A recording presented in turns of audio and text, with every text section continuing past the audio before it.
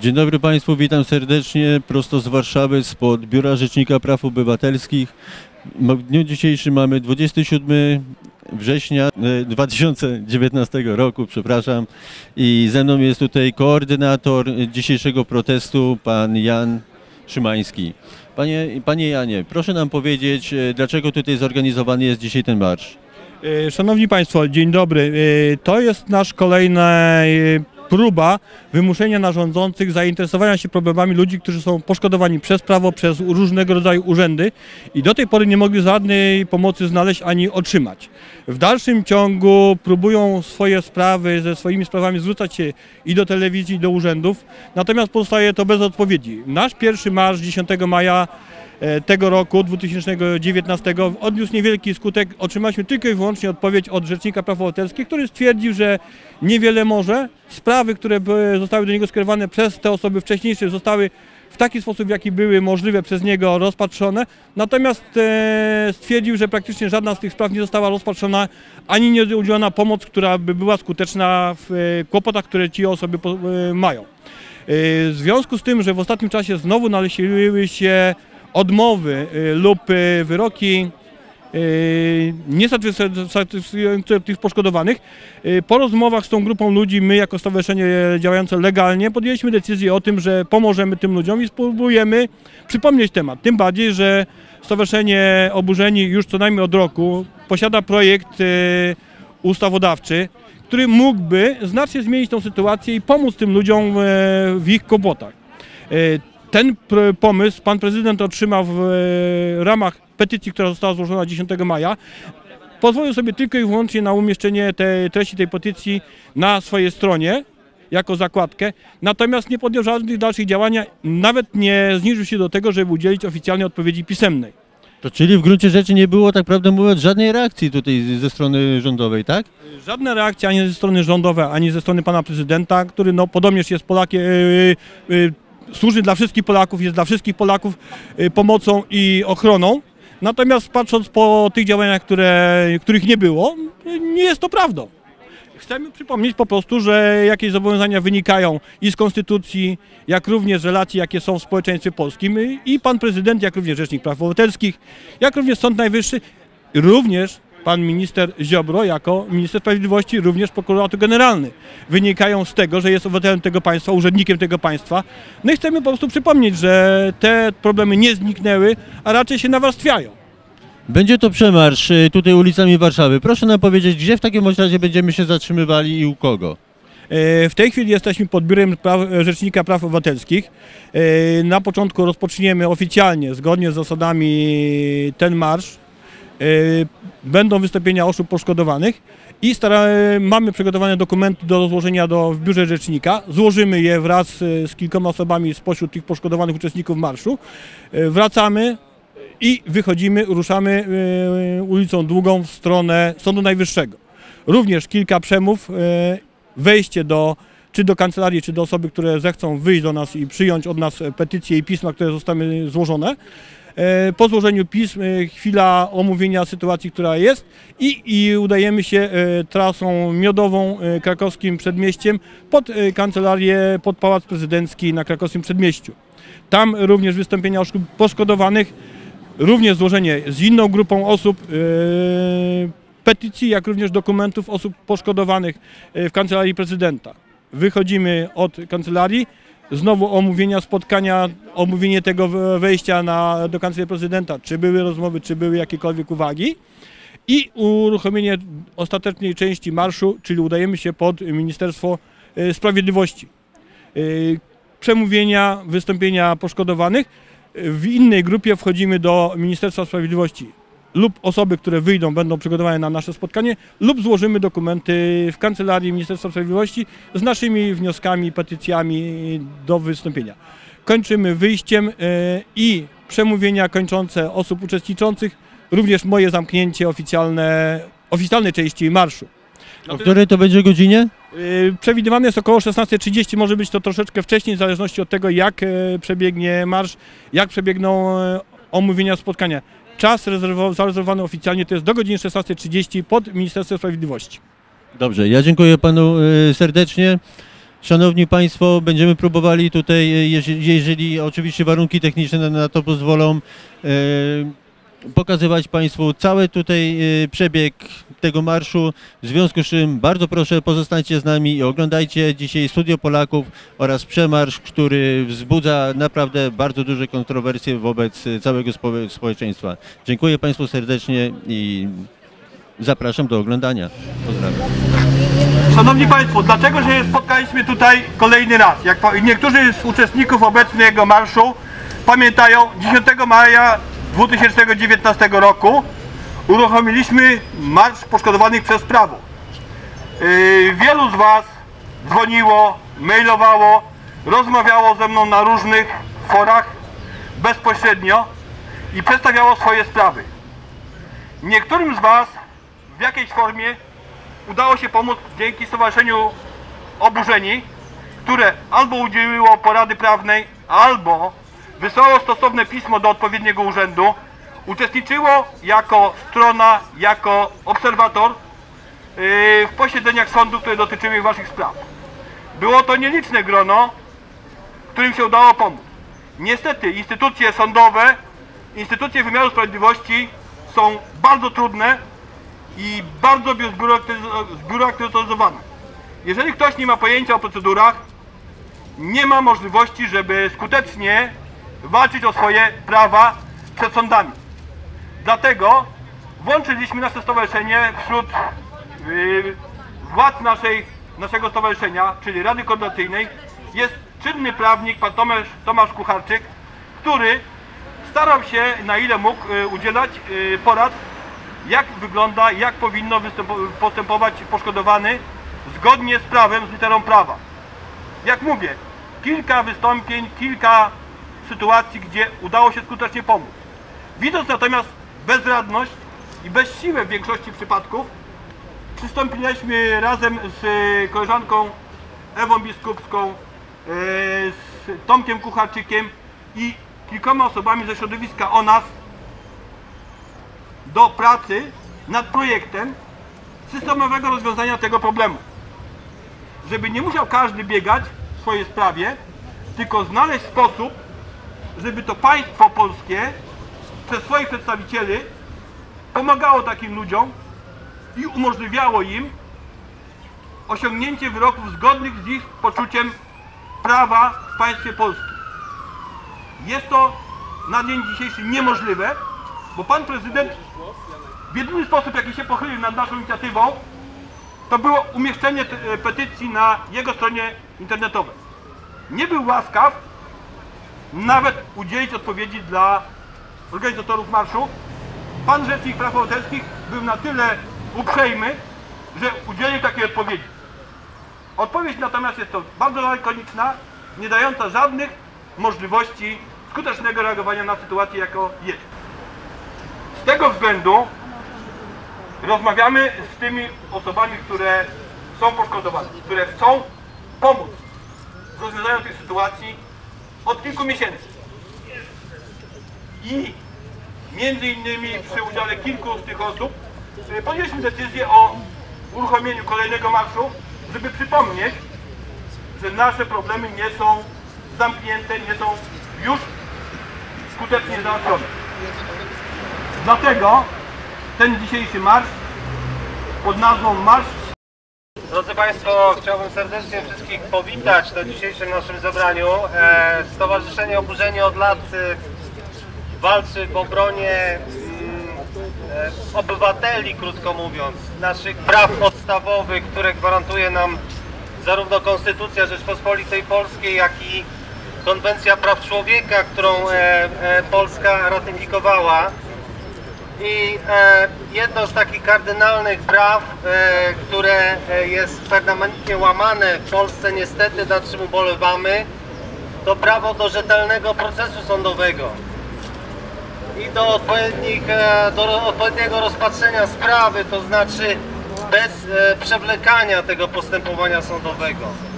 Każdy z nas, proszę Państwa, w ciągu swojego życia albo jak jacyś członkowie rodziny mieli okazję zetknąć się e, z wymiarem e, sprawiedliwości No i niestety to te doświadczenia najprawdopodobniej nie, nie zaowocowały pozytywnymi takimi doznaniami.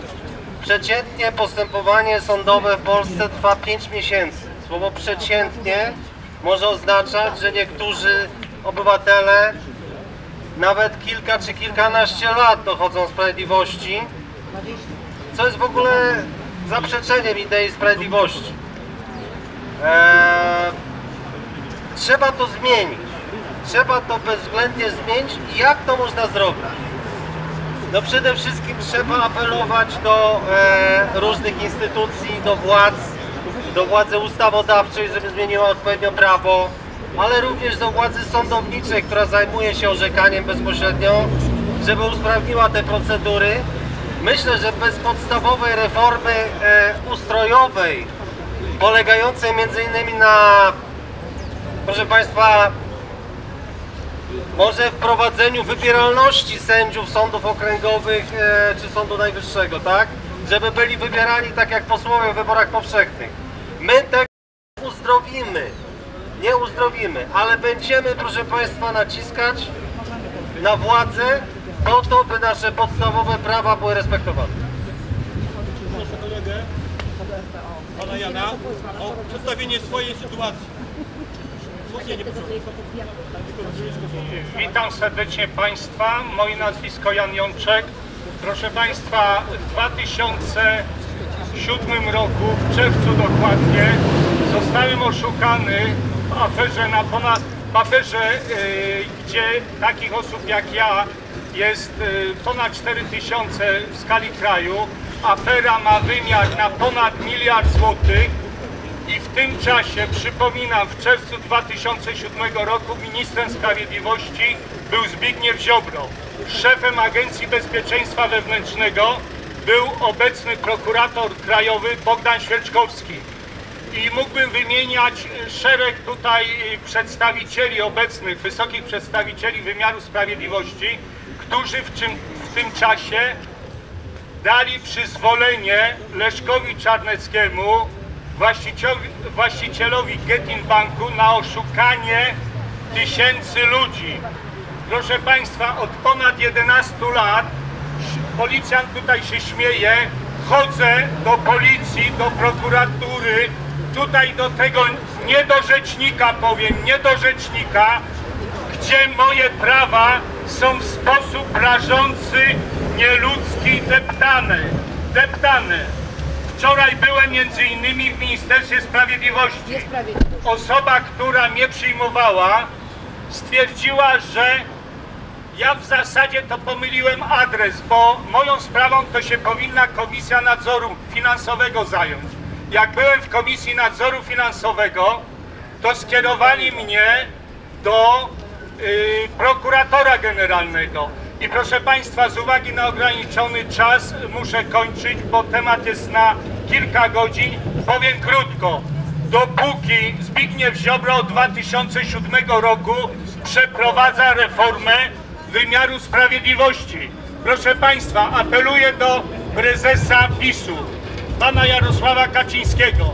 Jeżeli ja bym został ministrem sprawiedliwości, w ciągu, proszę pana, pół roku państwa, do państwa apeluję i do y, szerszej publiczno, publiczności. W ciągu pół roku naprawiam wymiar sprawiedliwości poprzez wprowadzenie ław przysięgłych, bo wymiar w Polsce jest tak głęboko skorumpowany, że wszelkie pozor, pozorne reformy y, przeprowadzane przez Zbigniewa Ziobry, y, no wiadomo, to jest wszystko pozoranstwo, wielkie pozoranstwo. Ława przysięgłych rozwiązuje problem.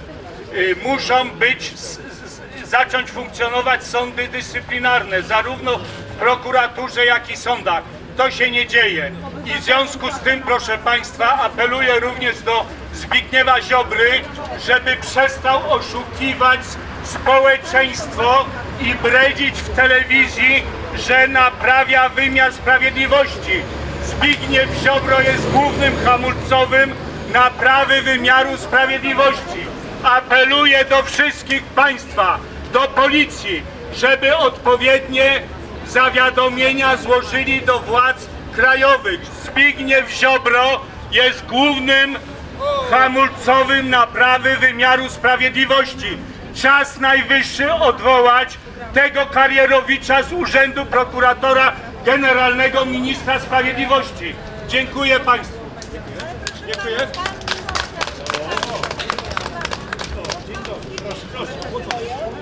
E, Dzień dobry Państwu, Danuta Jasik. Ja mam problem e, w Lipsku nad Wisłą, na którym to Biedronka postawiła e, market Biedronki na moim terenie. Pomimo, e, nie wiem już ile razy, chodziłyśmy do rzecznika, do wszystkich instancji państwowych, do tej pory nic nie jest w tej sprawie zrobione. E, Kradną nam nasze nieruchomości, przenoszą po prostu, e, przypisują nieruchomość do ulicy, aby im się zgadzała ulica, tak ukradną wszystko. E, Tysiące skarg, tysiące próśb do posłów, do rzecznika, a, a już o prokuraturze to nie mówmy, bo je, ona nie istnieje. E, No i do tej pory nie ma żadnego efektu. E, Dziękuję, tyle mam do powiedzenia.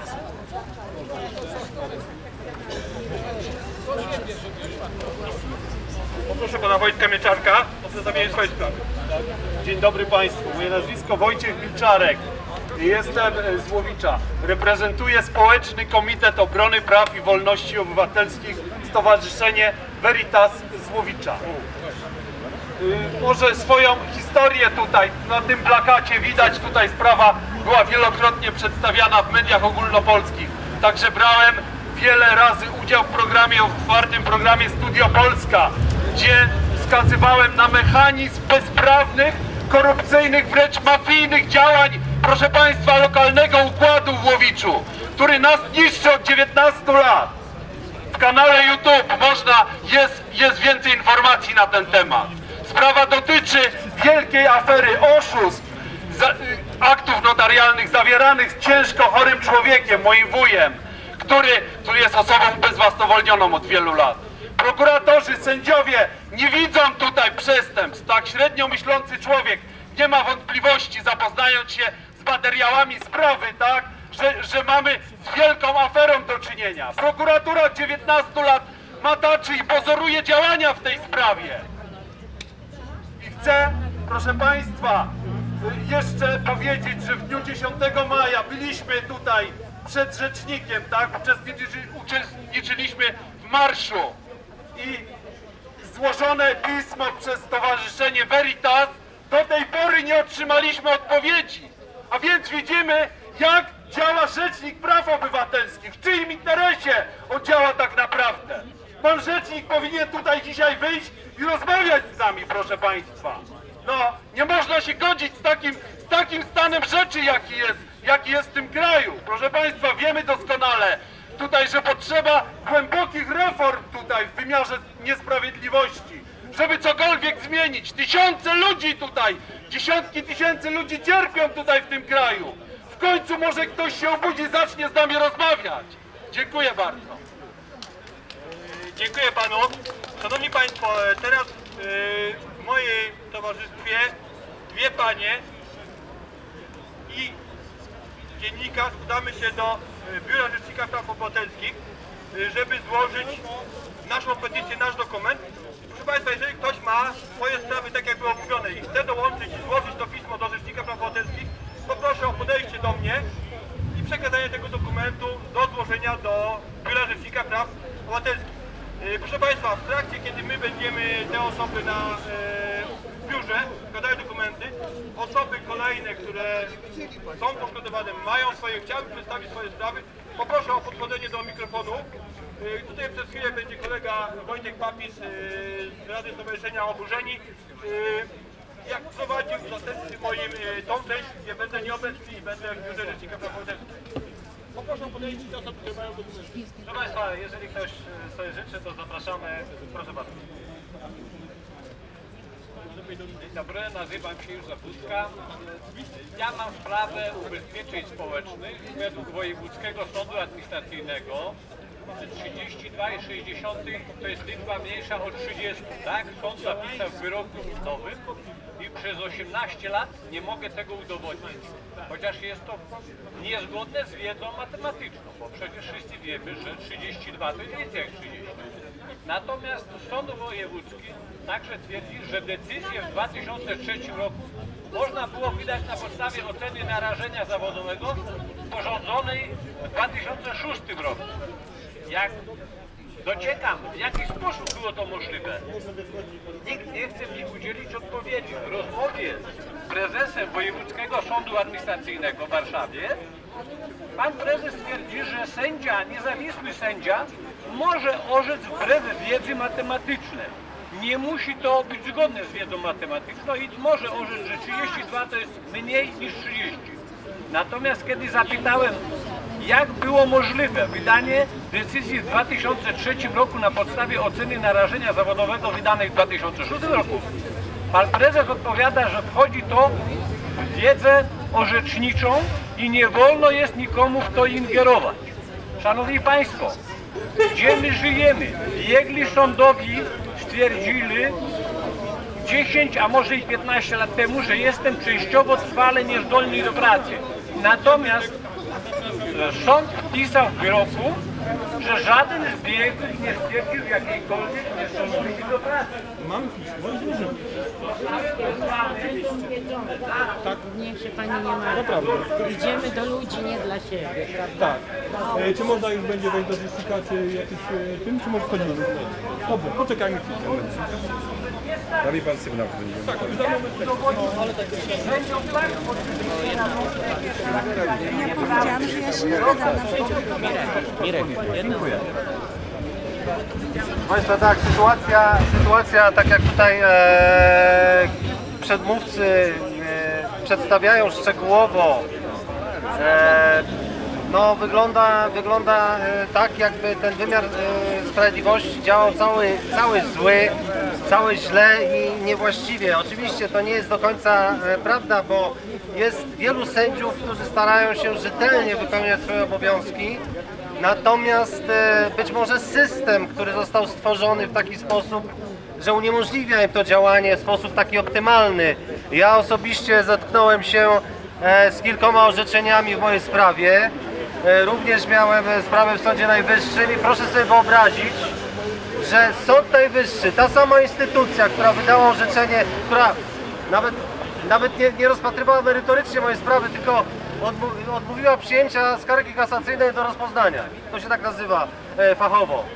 Ta sama instytucja rok później w składzie siedmioosobowym wydała wyrok całkowicie zgodny z moim żądaniem.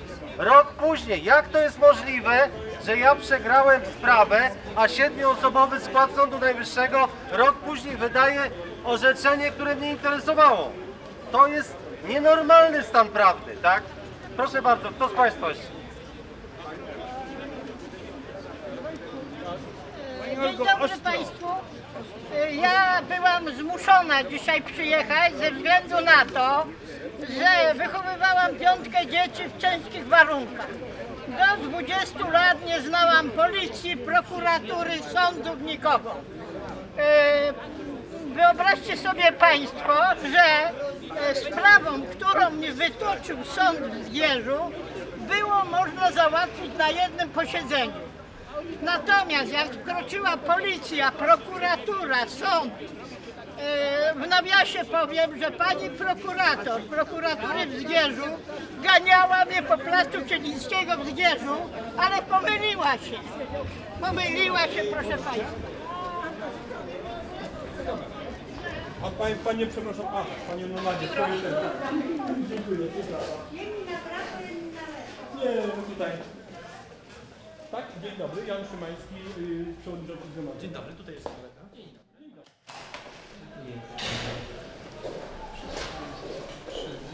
Tutaj jest pismo, opis. Tak. Tutaj pismo jest y, pani Anny Dudek w jednym egzemplarzu, więc złożę tylko i wyłącznie w tym jednym egzemplarzu. napisać do rzecznika, żeby było Tak, oczywiście. Nie ma problemu, już podpisujemy.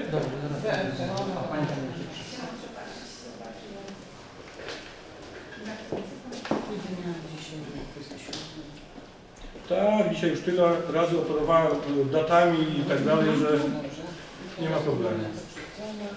No tutaj nie podpisała się to pani.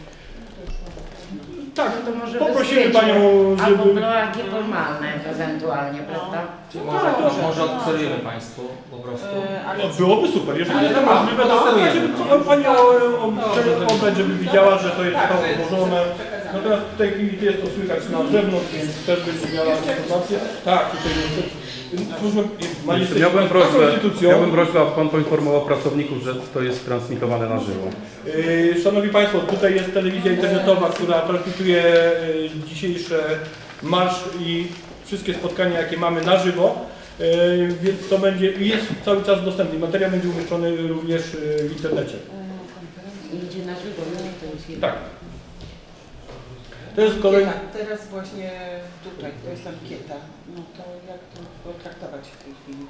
To To jest krótki opis sprawy. Jeżeli, Ale też powinno być biuro rzecznika, kto Jeżeli- składa... jeżeli to jest podpisana, być- znaczy chyba na końcu jest podpisana Pana osoba, yy, która to yy, pozwoliła sobie podpisać. Jest Ale tylko podpisane jest, a No to nie ma napiszmy adresu. rzecznik, no to rzecznik, wystarczy rzecznik praw obywatelskich. Podwina No dostaje. to może ja Tak, dopiszę. Proszę dopisać, dobrze? Już dopiszę, już wnioskodawcy, Tylko dobrze? Proszę napisać biuro rzecznika. Już. Aha, biuro rzecznika, Biuro tak? rzecznika, proszę adres też swój napisać. I adres, adres to jest. No tutaj to jest Ewa Rozumiem. Wszystko jest A napisane. biuro rzecznika. Ten zbiera. A, no to pewnie. Biuro rzecznika jeszcze pan. Super. To jeśli można by było Państwa e, prosić jako pracowników Biura Rzecznika e, o możliwie, nawet skrótową odpowiedź w każdym temacie, jeżeli to nie tak jak Każdy wniosek, który jest złożony, będzie naprawdę odpowiedź udzielana. tutaj jest, jak Państwo Pana kolega właśnie przyjmowany, będziemy wyjaśniać te wnioski, które zostały złożone. Rozumiem. Pan szczęścia przyjął Pani przyczynę, dobrze? tak, tak, tak. Można szukać dziury w całym.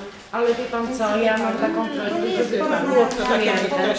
E, No i, bo to jest takie samo pismo jak każde inne. E, I wtedy będzie, przyjdzie mi odpowiedź. Myślę, że jakaś taka Proszę jeszcze konkretna. ostatnia Pani swoją sprawę. Pani już proszę o przedstawienie. Wnioski?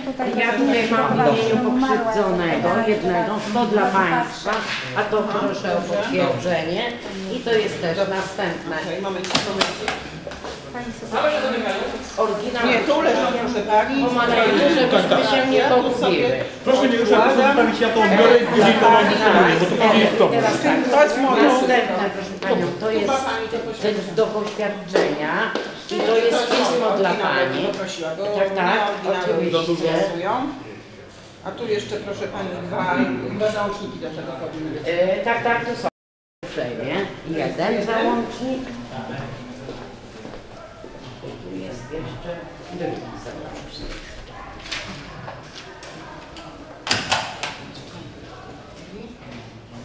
Czy Pan będzie tego coś nadzorował?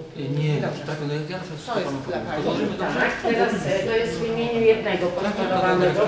Teraz e, następne w imieniu następnego Kiedy do dyrektora, poszkodowanego. dyrektor wskazuje specjalistę danej dziedziny, który W będzie moim. e, Proponowałbym zaraz, zadzwonić e, Bo ja mam do Mniej więcej e, To tu pani Dwa. podpisze. A, No nie, Nie, bo trzy dni, trzy, cztery dni do rejestracji, żeby Państwo sprawdzili numer sprawy i w którym miejscu ta sprawa się znajduje. Tylko o to chodzi. Moment. Dobrze? Ja sobie na swoim. Pan sobie napisze, dobrze? Pan napisze, o, środa, czwartek, telefon. Yy, nazwiska wnioskodawców, ustalimy numery, wtedy podamy do tego, to będzie Jakiś numer telefonu? 800? Proszę Darmo. Pani zaraz, bo ja mam tutaj e, napisane od razu, żeby mi Pani wróciła, że to to przyjmę. Tak, dziękuję. Czy, czy Pani już wszystkie rozłożyła? E, Jeszcze, jeszcze. Dobrze. A, przepraszam bardzo.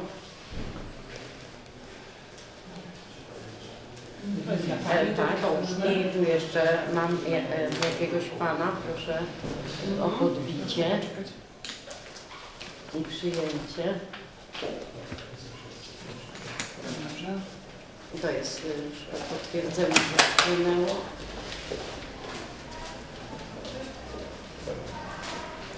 E, I tak w imieniu wszystkich poszkodowanych my bardzo prosimy, aby naprawdę Rzecznik Praw Obywatelskich pochylił się nad naszymi, bo wie Pani co, to są podania krwią pisane. Proszę Panią, nie, to nie jest tak. 10, proszę Panią, od 10 lat E, Mam tu właśnie Państwu pismo Wasze przysłałam. To są takie e, po prostu, no nie wiem jakby to określić. Zabawa w kotkę i myszkę. A my wie Pani czym się robimy? My się robimy już jak wielbłądami od tych teczek. Bardzo prosimy, bo naprawdę. Prosiłem o telefon, czy dać papież Panią również. Oczywiście. Dobrze? Bardzo, bardzo dziękuję. Bardzo dziękuję. To są nasze rzeczy. Dziękuję Państwu. Ja Pani oddam, bo tu też są. Pan również. Nie oddam. Dobrze. Dziękujemy Dziękuję i również. prosimy o dobre Zajęcie się załatwięcie, sprawami naszymi. ale tak od serca, nie tak jak do tej pory. Do widzenia. Do widzenia. Pan to jest konkretny. Pan ma swoje zadanie i wykonuje je w miarę dobrze. Widzenia. Stoimy i marsze robimy, nie?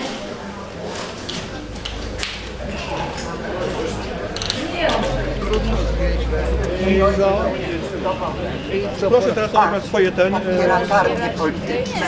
A ja jestem osobą 60-letnią ze stopniem znacznym niepełnosprawnym, całe życie bezpartyjną. Oddaję głosy na ludzi pracy. I pisałam do Pana nie tylko pisma, prośby, ale błaganie. Przyznaliście mi nawet numer kiedy doręczono w Łodzi całą stertę dokumentów na dyżur, że pracownika Rzecznika Praw Obywatelskich sprawę, nie wiem co żeście zrobili, w kominku potrzebne rozpalić było. Pojawiłam się w Studio Polska. Byli obecni pani profesor, pan profesor. Czekał pod studiem, jak wychodziłam. Pani napisze krótko, bardzo proszę. Zajmiemy się panią, pani sprawą. A potem dostaję pismo, że to nie w pana gestii. Na moją szkodę popełnił przestępstwa kryminalne emerytowany oficer Komendy Wojewódzkiej Policji w Łodzi z Wydziału Kryminalnego. Powołuje się do chwili obecnej na swoje stanowisko.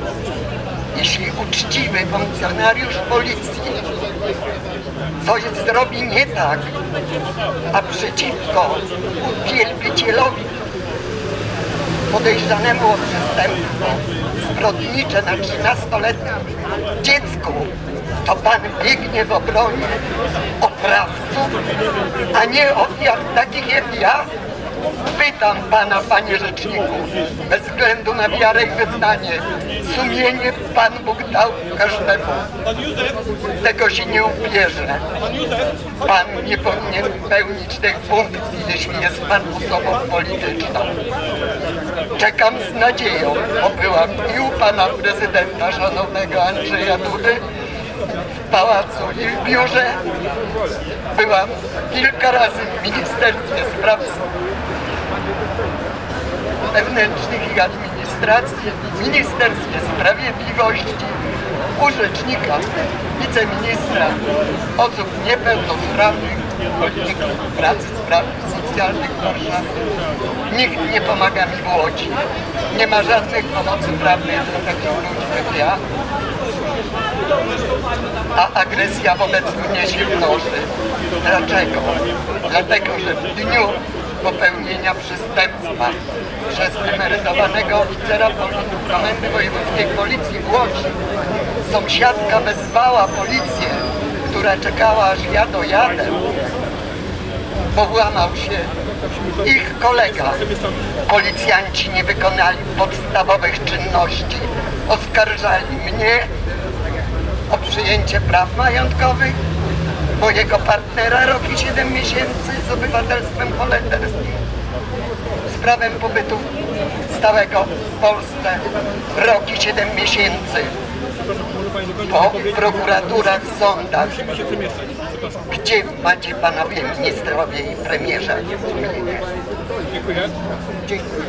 Szanowni Państwo, e, w Biurze Rzecznika Praw Obywatelskich została przyjęta nasze pismo, petycja e, Stowarzyszenia Występującego w imieniu poszkodowanych, jak również każde z pism osoby, które nam dostarczyły, również zostały złożone w kancelarii yy, w biurze Rzecznika Praw Obywatelskich. Proszę Państwa, yy, po, pod koniec następnego tygodnia, czyli czwartek, piątek, proszę skontaktować się z biurem Rzecznika, podać swoje nazwisko, otrzymacie numer sprawy, jak również jak sprawa będzie procedowana dalej. E, Ja posiadam numer telefonu do e, osoby odpowiedzialnej e, w Biurze Rzecznika Praw Obywatelskich. Podam na końcu naszego dzisiejszego marszu. Państwo otrzymacie numer kontaktowy do tej osoby. Proszę o dzwonienie i dowiadywanie się, jak Wasza sprawa jest dalej kontynuowana. E, W tej chwili dziękuję. Proszę Państwa, e, formujemy się. Poproszę osoby, które będą niosły e, baner oburzeni na bezprawie. uczestnicy, słuchacze mieli okazję zapoznać się z problemami, jacy mają Polacy i jakie chcieli zanieść sprawy do Rzecznika Praw Obywatelskich, żeby zaczął wywiązywać się ze swoich ustawowych obowiązków. Dlatego też rozmowa e, uczestników, którzy weszli do biura rzecznika z przedstawicielami, pracownikami jego biura. Poproszę, poproszę o wyłączenie. Poproszę o wyłączenie. E, Kancelaria Rzecznika Praw Obywatelskich, jak petycję oficjalną stowarzyszenia nie było żadnego problemu z przyjęciem, tak już dokumenty osób uczestniczących trzeba było bardzo uważnie zwracać. Proszę Państwa, to na co często zwracam uwagę. Formalizm jest bardzo, bardzo dobrą bronią przeciwko każdemu człowiekowi, który nie zna się na tworzeniu dokumentów. Między innymi taka sytuacja powstała w dniu dzisiejszym, gdyby nie częściowa uprzejmość pracowników Rzecznika Biura, e, Rzecznika Praw Obywatelskich, większość tych dokumentów nie, nie mogłaby zostawi, zostać złożona w kancelarii z tego powodu, że nie spełniała wielu wymogów, które są przy składaniu jakichkolwiek oficjalnych dokumentów do Biura Rzecznika Praw Obywatelskich. Musimy pamiętać, że tego typu wymogi formalno-prawne są wymagane praktycznie przy każdym oficjalnym wystąpieniu. Yy, Dzięki naszym uczestnikom, dzięki osobom, które weszły, żadne z pism, które Państwo chcieliście złożyć, nie zostało odrzucone. Każde z nich zostało złożone. Tak jak mówiłem, w ciągu najbliższego tygodnia Państwo powinniście mieć yy, możliwość zadzwonienia do Biura Rzecznika Praw Obywatelskich i dowiedzenia się, dowiedzenia się, yy, jak Wasza sprawa jest procedowana. Czy ma braki formalno-prawne, czy nie ma, czy trzeba uzupełnić i jak będzie dalej przebiegało prowadzenie Państwa spraw. Proszę te osoby, które złożyły te pisma o albo skontaktowanie się ze mną w celu otrzymania numeru, albo podam ten numer na końcu dzisiejszego marszu, czyli pod Ministerstwem Sprawiedliwości. Teraz przemieszczamy się ulicą Długą. Proszę wszystkich o e, skupienie się po prawej stronie jezdni i raczej w miarę możliwości dotrzymać kroku wozowi transmi- transmisyjnemu, jak również koleżance i koledze, którzy niosą nasz baner, który mówi, dlaczego tutaj jesteśmy. Nie jest to jedyny temat, który mamy z problemy. Poproszę o przedstawienie kolejnej sprawy, kolejnego uczestnika naszego marszu. Jakie problemy mają obywatele polscy przed polskimi urzędami? Poproszę pana. Dziękuję. Jestem słabym mówcą. Poproszę. Panie... Pan mówi. Przestań. Ale po- wie pan co, ale to nie słychać wcale. Słychać. Ale tam, no. Na, nagrywa się. Nazywam się Średnicki Jan, przyjechałem z województwa podlaskiego. Od 97 roku dochodziłem choroby zawodowej, ponieważ zostałem osobą niepełnosprawną. W przeszłości byłem uczestnikiem misji pokojowych ONZ, brałem udział w operacjach w Egipcie, w Kambodży. I zostałem w takiej sytuacji, w której pewien sędzia mi wytłumaczył, że zostałem ofiarą systemu. Przeciwko mnie stosowano szykany, chcąc odebrać bezprawnie prawo jazdy, które obroniłem, chcąc okraść mnie z mieszkania. Były to konsekwencje dlatego, że dochodziłem swoich praw. Obecnie domagam się w Trybunale Praw Człowieka w Strasburgu, sprawa została przyjęta, na to liczę. Niestety wydeptałem tutaj wręcz ścieżkę do instytucji takich jak e, te biuro przy Ministerstwie Sprawiedliwości, bez żadnych efektów, do Rzecznika Praw Obywatelskich, bezskutecznie. E, Pewien poseł Putra niestety zginął w Smoleńsku, ale wcześniej pisał interpelacje poselskie, nie zgadzając się, dlaczego Rzecznik Praw Obywatelskich nie podjął się tych moimi tymi działania, tych działań. Niestety y, potem put, pan po, były poseł Putra zginął i sprawa się zakończyła. On jedyny podjął jakieś działania, bo byłem, prawda, u całej plejady posłów z różnych, z, z Platformy Obywatelskiej z PiSu, jak, jacy tylko byli. Mam na to dokumenty. Żaden nie podjął żadnych działań. No niestety, moim zdaniem nie było, nie było reformy u nas wymiaru sprawiedliwości. W prokuraturach, e, w sądach zostali ludzie z dawnego systemu i oni sobie z tego zrobili biznes. Robią sobie kasę. Oczywiście się trzymają mocno tych swoich stołków i na tym to wszystko polega. Dziękuję bardzo. Proszę Państwa, jeśli chodzi o zmiany w Krzysztof Jędrasi Stowarzyszenie Pokonanie 2012, jeśli chodzi o zmiany w sądownictwie, to wszystkie zmiany, jakie rozpoczniemy, musimy rozpocząć od zmian w urzędach, wśród urzędników. Dlatego, że niedopuszczalną jest sytuacja, w której urzędnicy nie odpowiadają za swoje czyny, których w dużej części poszkodowanymi są Polacy, przedsiębiorcy, a zwłaszcza polscy mali i, duzi, y, mali i średni przedsiębiorcy, którzy tak naprawdę utrzymują cały naród i wszystkie pieniądze, które wpadają do budżetu, trafiają w większości od małych i średnich przedsiębiorców. To oni są solą tej ziemi, koniem pociągniow- pociągowym ciągnący całą gospodarkę. Od tego musimy zacząć, żeby to nie urzędnicy rządzili przedsiębiorcami, ale żeby urzędnicy służyli, bo od tego są. To jest służba, oni muszą służyć. I tu musi być początek, a potem trzeba wprowadzić również odpowiedzialność wśród sędziów oczywiście, sędziów pokoju dobrze jest wprowadzić i czynniki społeczne, które będą pilnowały tego, żeby wyroki były zgodne ze sprawiedliwością, a nie tylko z pustymi przepisami. Dziękuję bardzo. E, Szanowni Państwo, zapoznajecie się z kolejnymi tematami, z kolejnymi problemami. Jak widzicie, uczestników jest kilkudziesięciu i praktycznie prawie każda z tych osób, która uczestniczy, która poświęciła swój czas wolny, żeby móc przedstawić swoje sprawy, przynajmniej zarysy ich, do urzędników, którzy są zatrudnieni za nasze pieniądze i powinni dbać i pilnować, żeby nasze problemy były rozwiązywane zgodnie z zasadami prawa, ale również zgodnie ze społecznym odczuciem prawa, moralności, zachowania się z zasadami, które obowiązują w naszym społeczeństwie.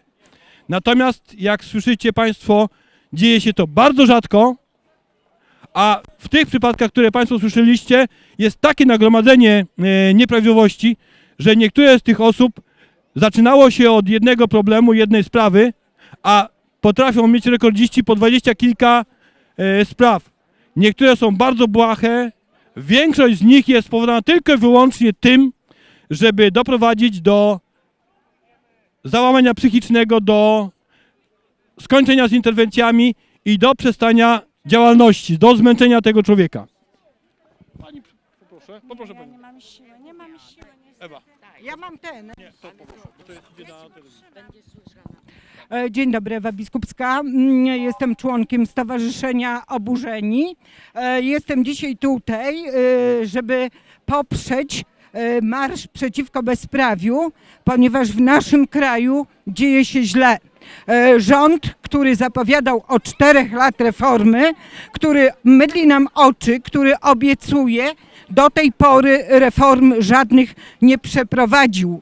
E, Sama ustawa o Sądzie Najwyższym i skardze nadzwyczajnej nie rozwiązuje sprawy, tym bardziej, że prokuratorzy, którzy rozpatrują nasze sprawy, sprawy osób poszkodowanych, są to te same osoby, które odrzucały wcześniej nasze sprawy. Jest to czysta fikcja. Między innymi bardzo dużo spraw zostaje odrzuconych i nie podano przyczyny, dla której odrzuca się wnioski o skargę nadzwyczajną. Ja sama czekam rok i cztery miesiące na rozpoznanie wniosków, na rozpoznanie mógł dwóch spraw 26 lat czekam na sprawiedliwość. 26 lat. Ile jeszcze można czekać? Ile można.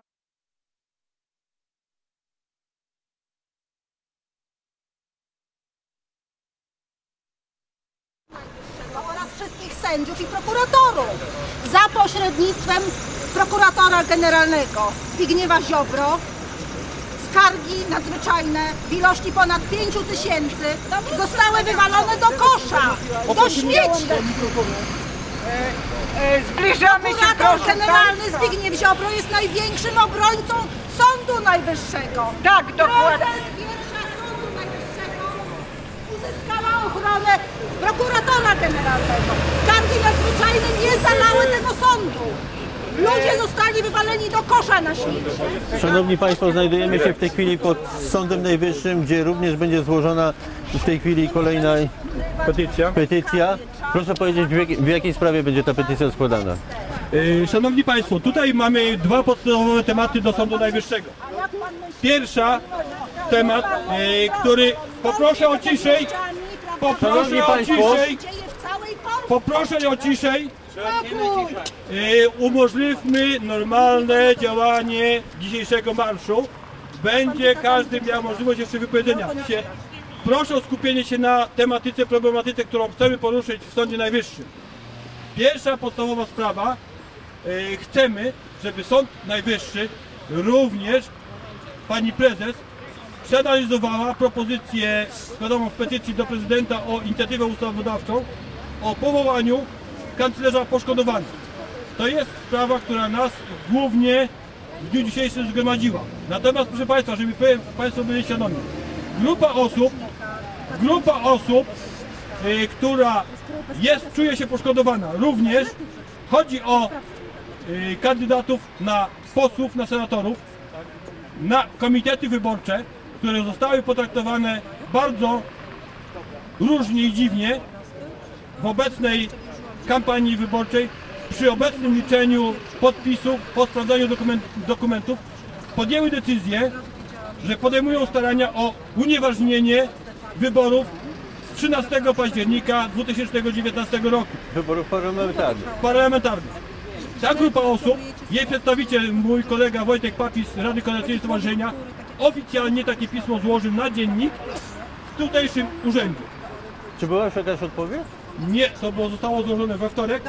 Raczej ten Sąd Najwyższy nie działa w takim tempie, żeby udzielić odpowiedzi w ciągu dwóch dni.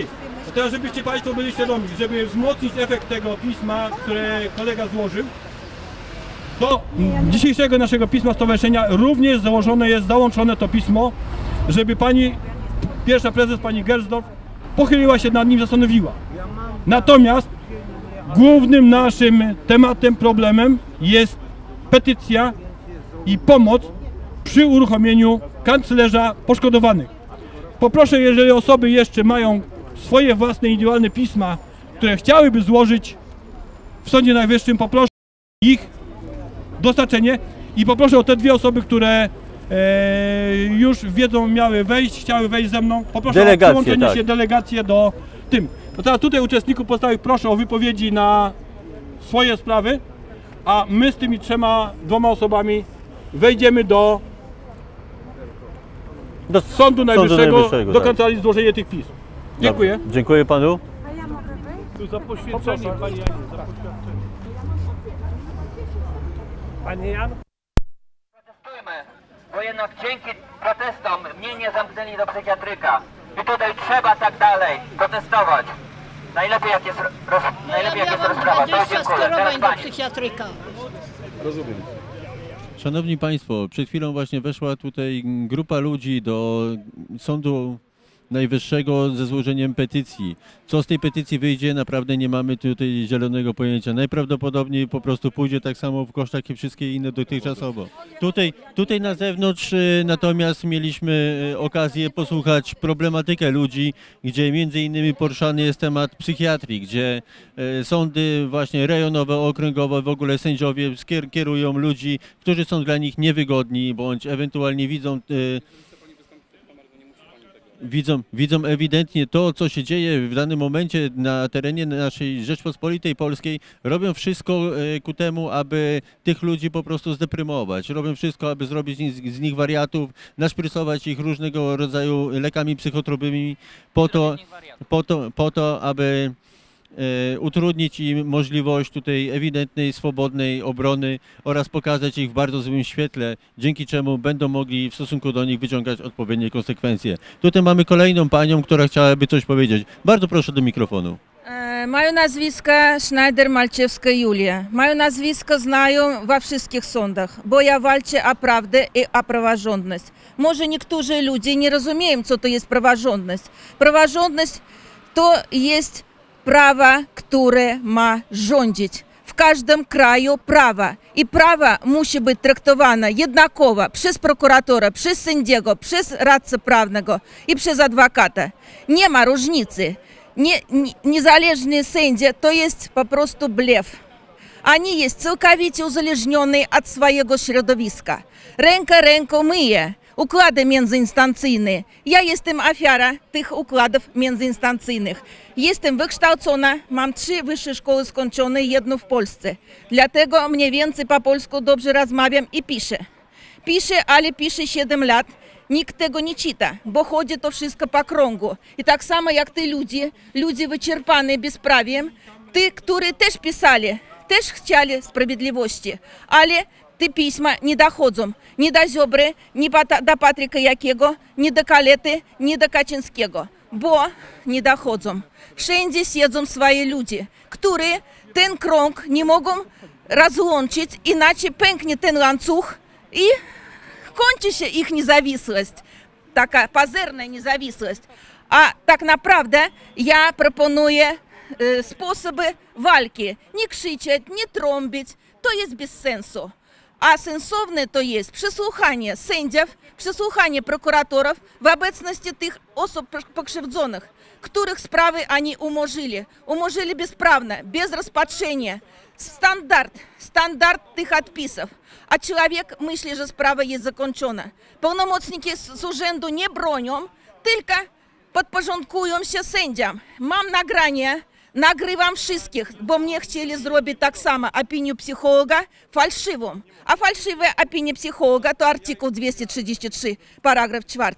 Nie wolno tego robić bez zgody. Zgodę ciebie dają w dniu przesłuchania. Nawet nie wiesz, co z tobą zrobią. Nie chcą nagrywać uporczywie. Uporczywie nie chcą nagrywać przesłuchania, bo wtedy jest dowód, że człowiek mówi prawdę i sprawę nie można wszystkim zależy na umorzeniu spraw. Może to jest e, pryncyp statystyki, zmniejszenie przestępczości, ale to nie zmniejszy przestępczość, to jest po prostu no, upokarzenie osoby pokrzywdzonej, która przychodzi do organów wy- wymiaru sprawiedliwości po wymierzeniu sprawiedliwości, której nikt nie zamierza wymierzać. Ja chodzę osobiście 7 lat, nagrywam wszystkich w celu ochrony swoich dóbr osobistych i swoich praw człowieka, bo wszystkie przesłuchania tak przykręcają, że po prostu nie, nie ma prawdy w tym protokole. I pe- pełnomocnik z urzędu wyznaczony dlatego, żeby ten protokół podpisać bez mojej zgody. I już sprawa umorzona. Sprawa zakończona prawomocna. Ja s- ostatnią sprawą, którą było umorzyć, ja nagrywała wszystkie posiedzenia sądu. Mam te nagrania, mogę ich udostępnić. Jak presywali moich pełnomocników, sędzia. Presywali takich pełnomocników, byłego sędziego starszego pana, ponad 90 lat, który taki pisał zażalenie, że każdy mo- mógłby poклониться jemu za to, że on napisał. Ale w ciągu trzech dni po kolei prysowała jego sędzia, około 30 lat, tak, w taki bezczelny sposób, że on pisze zażalenie niezasadne. To jest śmieszne, proszę, proszę Państwa. Ja mogę napisać niezasadne, bo jestem ruska. Można mnie rozdeptać, ale człowieka wykształconego z wieloletnim doświadczeniem tak szarpać za 300 zł, które jemu wyznaczą za e, obronę z urzędu, to jest po prostu bezczelność. Bezczelność w stosunku do człowieka zasłużonego. I oprócz tego ta sędzina, jedna z wielu, dopuściła się takiego przestępstwa skutkowego. Nikt o tym nie pisze. Artykuł 231 to wszyscy wiedzą. Niedopełnienie obowiązków, przekroczenie uprawnień. Ale jest przestępstwo z artykułu numer 2. Przestępstwo skutkowe, że e, funkcjonariusz bądź to policjant, bądź to prokurator, bądź to sędzia umyślno, umyślno postępują w taki sposób, że popełniają przestępstwa, po pierwsze, niedopełnienie obowiązków i przekroczenie uprawnień, presują wszystkich, wszystkich przesłuchanych, nawet pełnomocników z urzędu. I oprócz tego presują dlatego, że chcą osiągnąć oczekiwany skutek. Właśnie o to chodzi. Kto czytał prawo, a kto jeszcze jego uczył, to doskonale wie, że artykuł 2 kodeksu karnego jest przestępstwo skutkowe. I właśnie do tego zmierzają wszystkie sędzia i wszystkie prokuratury. Oni robią to umyślnie, do skutku, do skutku zniszczenia wiarygodności człowieka, który walczy o prawdę. Proszę nam, proszę nam jeszcze powiedzieć, skąd pani dzisiaj do nas przyjechała. Ja muszę zdążyć do trzech sądów właśnie w tych, w tych sprawach bezprawie. Nawet mnie akta nie chcą udostępnić, bo ja piszę akt oskarżenia o, sędzi, o, sę- o sędziach, którzy dopuścili się bezprawie. Ja jestem ruska, ja niczego się nie boję. Dlatego piszę tak zgodnie z kodeksem. Artykuł 231 i artykuł 2. I właśnie sędzia bronią dwa, swoich koleg i nie chcą mnie udostępnić wglądu do akt, żeby ja nie zrobiła fotokopii i nie wysłała, nie wysłała do Ziobry, żeby on nie przeczytał. To jest właśnie droga, droga walki z niezawisłymi, pazerno niezawisłymi. Oni wszyscy uzależnione od swojego środowiska, od swoich koleg po fachu. Oni ludzi po prostu traktują jak szmaty. Dla nich to nie ludzie, a przecież oni dla nas muszą pracować. Dlatego oni przysięgу składali, że im konstytucja nie tak po prostu dała tą niezawisłość, a dała pod warunkiem spełnienia swoich obowiązków służbowych i obowiązków sumiennych. Kto czytał tą przysięgę, tот zrozumie, że bez tej przysięgi nie będzie sędzia sędziem, tylko zwykłym człowiekiem. Oprócz tego, ten człowiek musi mieć odpowiedzialność za to, co on robi. Każde działanie, każde działanie ponosi skutek, a my jesteśmy ofiarami tych skutków. Właśnie to jest przestępstwo skutkowe. Nikt o tym nie pisze. A dlaczego? Dlaczego? Ile nas tu jest? To mało ludzi. Ja szła mimo, niespecjalnie. A ktoś by wiedział, że tutaj coś takiego jest, to specjalnie by tutaj miejsca by nie było, ile tych ludzi, pokrzywdzonych przez sądy. Te, które krzyczą, oni krzyczą na cały świat, że oni jest niezawisłe. Jeśli ja pozbieram te wszystkie swoje sprawy i pojadę do tego Timmermana i powiem, że ta reforma, ona jest konieczna w tym państwie, bo nie ma żadnej praworządności, to ża- jaka reforma może jej zaszkodzić, jak jej nie ma? Przepraszam. Dziękuję, dziękuję pani serdecznie. Nasz marsz rusza tutaj dalej, bo e, otrzymałem właśnie w tej chwili e, sygnał od koordynatora. Proszę bardzo. E, Szanowni Państwo, jeśli można prosić na chwilę, e, co się stało, e, co było wewnątrz e, Sądu Najwyższego? E, Zgodnie z zasadami nie wszyscy wiedzą, że wejście do takiego urzędu, do takiej instytucji wiąże się z pozbyciem się jakichkolwiek metalowych przeszkodzenie, żeby zapewnić bezpieczeństwo pracującym tutaj urzędnikom, i to musieliśmy zdać. Również pan, który filmuje nasz materiał, niestety został pozbawiony możliwości wejścia do biura podawczego Sądu Najwyższego. E, I ten materiał nie został nagrany. Yy, Zgodnie z zasadami pracownicy Sądu Najwyższego nie są osobami publicznymi, mogą nie życzyć sobie upublicznienia własnego wizerunku. Poprosiliśmy, dotrzymaliśmy tego warunku i tylko wyłącznie osoby, które mogą, były robione, można było zrobić. Tak jak poprzednio, petycja stowarzyszenia, jak również wszystkie indywidualne pisma zostały złożone za potwierdzeniem, e, które mam i przekażę osobom, które składały te pisma. Szanowni Państwo, e, w tej chwili udajemy się w kierunku prezyde- Pałacu Prezydenckiego. Poprosimy e, chodnikiem do miejsca parkowania samochodu ekipy filmowej. Od samochodu wjeżdżamy na prawy pas jezdni i udajemy się ulicą Miodową, krakowskim przedmieściem przed Pałac Prezydencki. Dziękuję i zapraszam do uczestnictwa w marszu. Dziękuję bardzo. Chciałem powiedzieć, że z Sądem Najwyższym, y, mimo tych y, tutaj różnych, y, bo mnie nie było akurat pewnie negatywnych opinii, ja mam jednak nadzieję, bo czekam na tak zwany przedsąd i mam tą nadzieję, że podobnie jak tutaj jeden przedmówca pod y, biurem rzecznika mówił, że w końcu y, w Sądzie Najwyższym została załatwiona jego sprawa, no to ja czekam. Właśnie też na takie rozstrzygnięcie e, i, i po prostu mam nadzieję na to, że ci ludzie dzięki nawet takim akcjom, jakie my teraz robimy, oni może zaczną rzetelnie oceniać te wszystkie sprawy, które do nich trafiają. Przedsąd to jest y, taka tajemnicza sprawa, tak naprawdę nie wiadomo kto ten przedsąd y, wykonuje, kto to jest. Jeżeli przedsąd zakwalifikuje sprawę, to dopiero później sędziowie zajmują się, tak, ci sądu... Naj... No przedsąd, najpierw... Tak, tak, naprawdę, tak, tak jest, że moja sprawa jest zakwalifikowana w kwietniu i 9 miesięcy czekam na przedsąd. Jeżeli przedsąd, nie wiem kto to jest ten przedsąd, może to są jacyś yy, świeżo upieczeni absolwenci prawa, którzy decydują, czy to się nadaje według kryteriów. I, I następnie dopiero trafia to do rozpatrzenia. Także ja, ja, ja po prostu chciałem powiedzieć, że ja mam nadzieję, tak jak przedmówca mój tam z tamtego urzędu, że tutaj jednak moja sprawa zostanie w końcu rozpatrzona i, na- i zostaną naprawione wszystkie te błędy, które dotychczas miały miejsce. Dzięki. Szanowni Państwo, kierujemy się teraz pod Pałac Prezydencki. Idziemy ulicą Miodową. Którędy jeszcze? Krakowskie Przedmieście i do Pałacu Prezydenckiego. Tam zatrzymujemy się na około do pół godziny.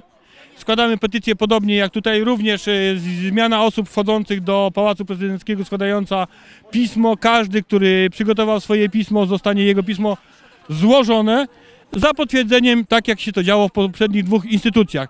Głównym celem e, właśnie tego marszu to jest e, wejście do Pałacu Prezydenckiego i złożenie petycji, bo praktycznie jedyny organ, który dzisiaj odwiedzamy, który ma moc sprawczą, żeby ten nasz marsz zakończył się e, osiągnięciem celu, to jest właśnie pan prezydent. On posiada inicjatywę ustawodaw- ustawodawczą i może uruchomić tę procedurę w celu powołania kanclerza poszkodowanych. I tutaj będziemy bardzo e, uwypuklali temat i przypominali, że na poprzednią naszą petycję nie uzyskaliśmy żadnej odpowiedzi w poprzednim czasie. A czy mieliście kontakt w ogóle z panem prezydentem? Nie, tylko i wyłącznie przyjmowali nas urzędnicy, dyrektor biura, natomiast e, nie było... Dyrektor Biura Prawa i Ustroju? Nie, to jest takiej kancelarii rzeczy, praw jakiś, ale to jest na pewno nie był, to nikt, kto ma bezpośredni dostęp do pana prezydenta. Więc Rozumiem. po prostu tylko i wyłącznie osoba wyższego szczebla e, kierowniczego. Natomiast na pewno nie jest to żadna osoba decyzyjna, czy e, osoba, która ma, ma bezpośredni dostęp do pana prezydenta, która chciałaby przedstawić ten temat i mogła przedstawić e, temat, który zgłoszony został jako poszkodowani, a jest do rozstrzygnięcia tylko i wyłącznie w gestii pana prezydenta. Urzędnik poszedł po najmniejszej linii oporu, czyli jeżeli to jest petycja zgodnie z wymogami prawa, musi ją umieścić w spisie, w rejestrze i umieścić na stronie internetowej prezydenta, to się stało. Natomiast za tym nie poszły kolejne działania, czyli nawet najgłupsza rzecz pod słońcem dać odpowiedź. Kończymy, umieściliśmy i na tym nasza praca się skończy, nie będziemy podejmowali żadnych działań. Albo zastanowimy się w czasie takim i takim, yy, skontaktujemy się z Państwem, poprosimy o szczegóły bo tamta petycja była bardzo, bardzo lakoniczna i postawiła tylko podstawowy mm, kierunek działania, natomiast nie przedstawiała środków. Z racji tego, że w trakcie rozmowy wynikły ten temat, w tej chwili ta petycja jest przygotowana w dużo szerszym zakresie, bo raz, że zawiera elementy podstawowe, e, do czego ma dotyczyć e, ta instytucja kanclerza poszkodowanych, ale również wiele rzeczy, które mogą zostać zawarte e, w przyszłej ustawie. Jest to pięć stron materiałów, jak, gdzie również jest opisana po co to wszystko, czy może to przynieść korzyści i dla kogo, bo my nie myślimy tylko o osobach poszkodowanych.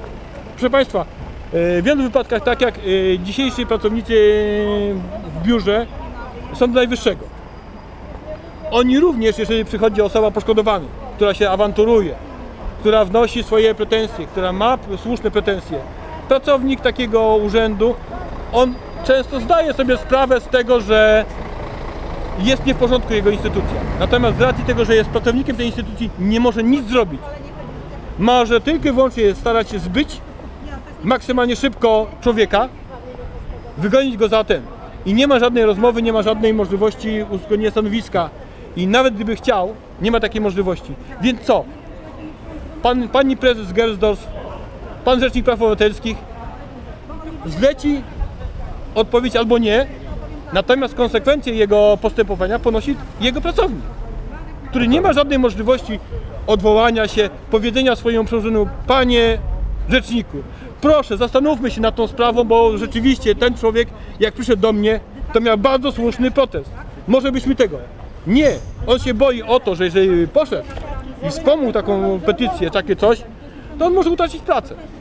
Ja zwróciłem taką szczególną uwagę tutaj dzisiaj, że w większości wypadków te wszystkie osoby, które przyszły, to są poszkodowane przez sądy, prokuratury bądź e, zwykłe takie instytucje, ale to w gruncie rzeczy przez osoby, które znajdują się oddolnie, tak? Czyli e, te wszystkie petycje, które piszecie do prezydenta, do premiera, czy bodajże nawet do Sądu Najwyższego, to oni nie docierają do tych e, najwyższych urzędników, czy to prawda? E, Tak, e, moje obserwacje z poprzedniego marszu, jak również e, z innych wystąpień, bo Stowarzyszenie Oburzeni między innymi występowało do Trybu- Trybunału Konstytucyjnego w takiej sprawie jak służebność zasiedzenia przesyłu. Temat jest bardzo pro, problematyczny, bo za tym tematem, za rozstrzygnięciem prawnym tego pytania, bo to z takim pytaniem zwróciły się sądy okręgowe, żeby dostać jednoznaczną interpretację prawa przez Trybunał Konstytucyjny. My jako stowarzyszenie e, wsparliśmy swoim, swoją, swoją petycją, swoim protestem, zgromadzeniem pod Trybunałem Stanu i prosiliśmy o rozstrzygnięcie zgodne e, z potocznym pojęciem e, sprawiedliwości społecznej i dalej. Czego dotyczyło to? Dotyczy to przeogromnych pieniędzy. Za okresu dawno minionego komunistycznego nie uregulowano tematów blokowania sieci energetycznych, sieci gazowych, sieci wodociągowych. Często te sieci przebiegają przez tereny działek osób prywatnych. Ten stan jest nieuregulowany. Przez pola rolników? Oczywiście. I żadna z tych operatorów, który korzysta na tym, że ta sieć przebiega przez te pola, on czerpie z tego korzyści. Ma zyski i tak dalej. Natomiast zgodnie z obecnym urzędowym prawem, Znaczy chodzi o specustawę, tak? nie, nie, tutaj chodziłoby tylko i wyłącznie o rozstrzygnięcie przez sąd, bo pytanie już jest, problem jest. I chodziło o to, żeby e, sądy nie brały na swoje barki sędzia pojedynczy, e, różnej szczebli sądów nie brał e, na swoje barki rozstrzygnięcia jednej sprawy, tylko żeby Sąd Najwyższy wykładnią w temacie narzucił rozstrzyganie, sposoby rozstrzygania wszystkich spraw. A proszę Państwa, chodzi to o majątki rzędu dziesiątku miliardów złotych jako odszkodowania dla ludzi, przez które przebiegają właśnie sieci przesyłowe, energetyczne, e, wodociągowe, gazowe i ludzie ci nie otrzymują nawet złotówki z tego tytułu, że ta część ich gruntu jest wyłączona z normalnego użytkowania. Ich działka gruntu jest warta zamiast powiedzmy 100 tysięcy, jest warta 5. Utrata na wartości działki. Tak. I oni słusznie do, domagają się do tego, żeby mieć przynajmniej jakieś odszkodowanie, rekompensatę za to, że nie mogą korzystać w pełni ze swoich uprawnień co do własnego gruntu, którym korzystają od wielu lat.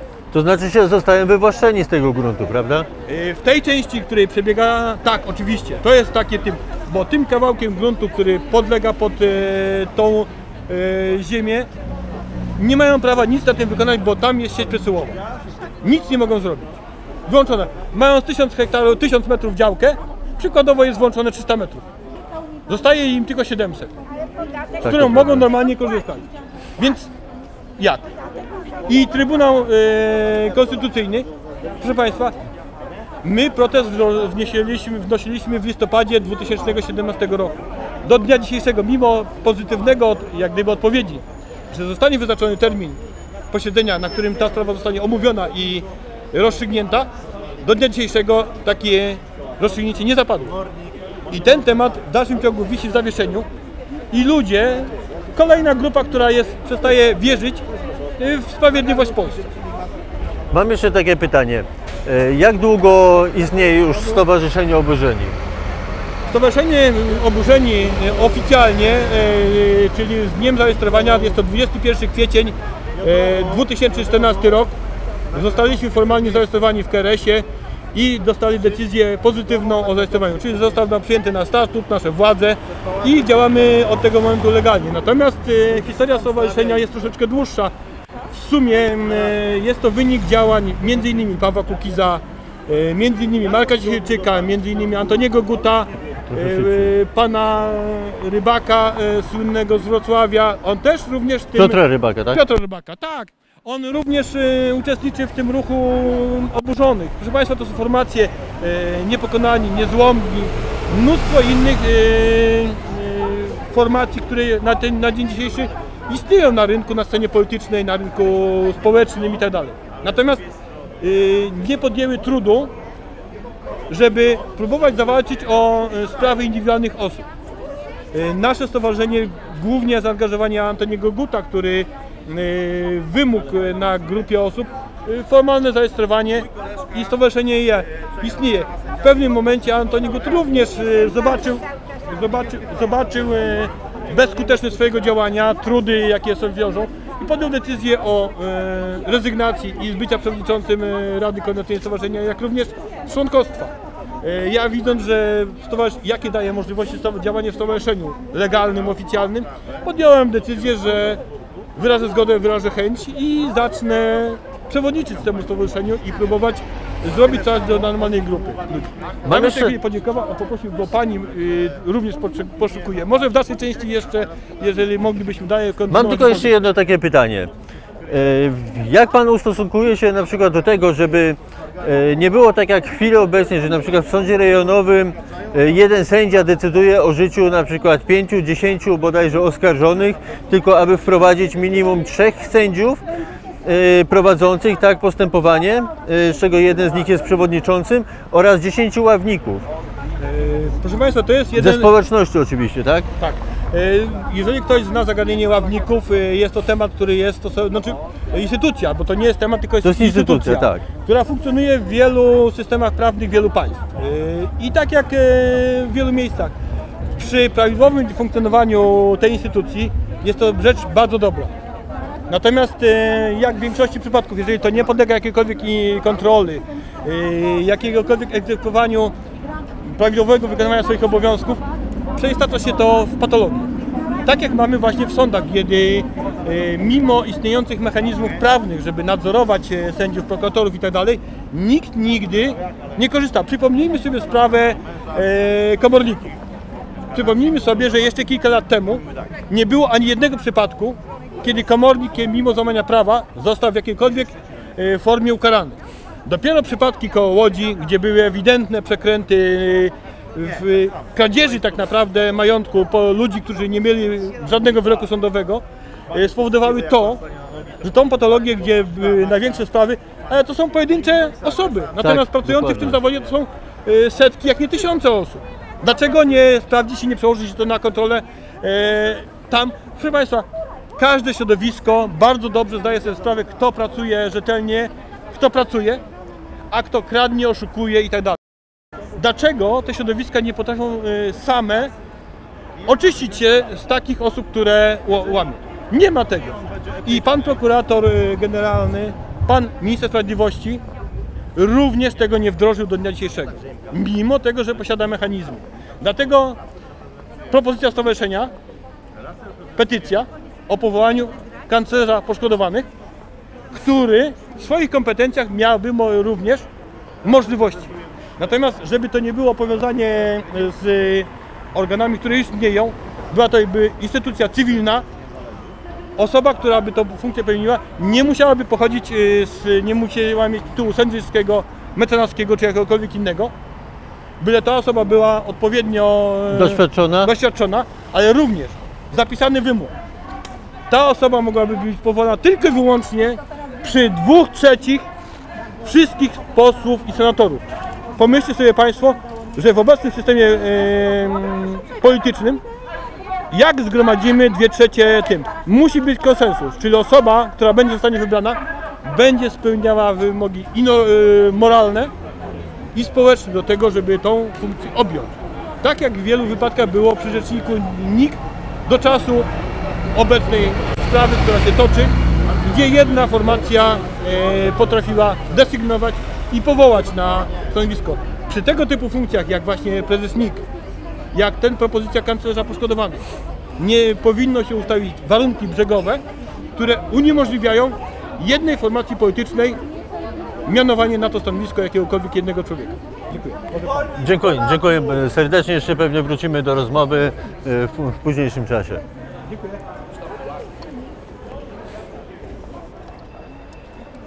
No, chce Pani coś powiedzieć? Tak, chciałam powiedzieć. Momencik. Na przykład, Momencik. ja cały czas. Momencik, proszę. Mamy tutaj kolejną rozmówczynię, ko- kolejnego członka marszu. E, proszę nam się przedstawić. Dobrowna Nowicka. Jeszcze raz. Dobrowna Nowicka. Proszę mi powiedzieć, e, dlaczego Pani tutaj się znalazła? Dlaczego Pani uczestniczy w tym marszu? Ja jestem drugim pokoleniem, walczy z nieprawością w sądach, prokuraturach, policji. Jestem z Łodzi. Łódź została jak gdyby wyjęta spod prawa i tam rządzą lokalni mafiozi. Na przykład w Warszawie jest y, tak zwana reprywatyzacja i dochodzą do straszliwych wniosków. W Łodzi grupa silniejsza, zorganizowanej przestępczości, która przejmuje cudze kamienice, jest nietykalna. Mniejsza Poproszę o grupa, przyspieszenie. Ewa! byli siedzieli. Ewa! Jak słyszałam, skazana została tylko jakaś stróżka, jako słup. Ona po prostu była winna różnych przekrętów, chociaż sądzę, że na, była na takim poziomie intelektualnym, że nie potrafiła tego obmyśleć. Pan Kopania, którego żona mnie fałszywie oskarżała w latach 90. Pierwszy baner wyjść. No, y, żeby mnie zamknąć mi usta i zrobić ze mnie chorą psychicznie, tylko to się nie udało. Pan Kopania przy panu ministrze Ziobrze w dalszym ciągu, Proszę pójść za mną. sama jestem w dalszym ciągu w Łodzi sprawuje teraz obecnie funkcję rzecznika. Tutaj jeszcze za mną. On dziś był szefem prokuratury Łódź w mieście. Czyli w ogóle jest skandal. Y, Nikt, żadne osoby. Teraz przeczytałam, że w prokuraturze też w Łodzi y, działa córka pana, pani Cyrkiewicz. To była prokuratorka, która była, kazała aresztować Proszę zatrzymać się, stop. teściową Stop. tego, tego senatora, który był związany z no, tą swoją córkę, też chciała robić głupią psychicznie, co tam uciekła kiedy... Dobrze, na moment przerwiemy, wrócimy jeszcze do tego tematu. Dziękuję Pani uprzejmie. Czerna. Czerna. Ja przecież Solidarność tak na ten marsz No. Musimy wyśrodkować.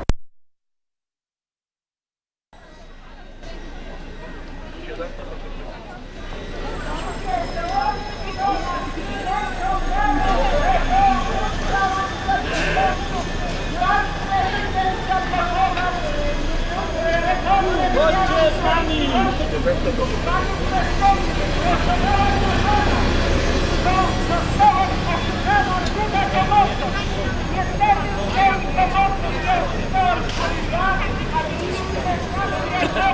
Poszkodowane przez wymiar niesprawiedliwości.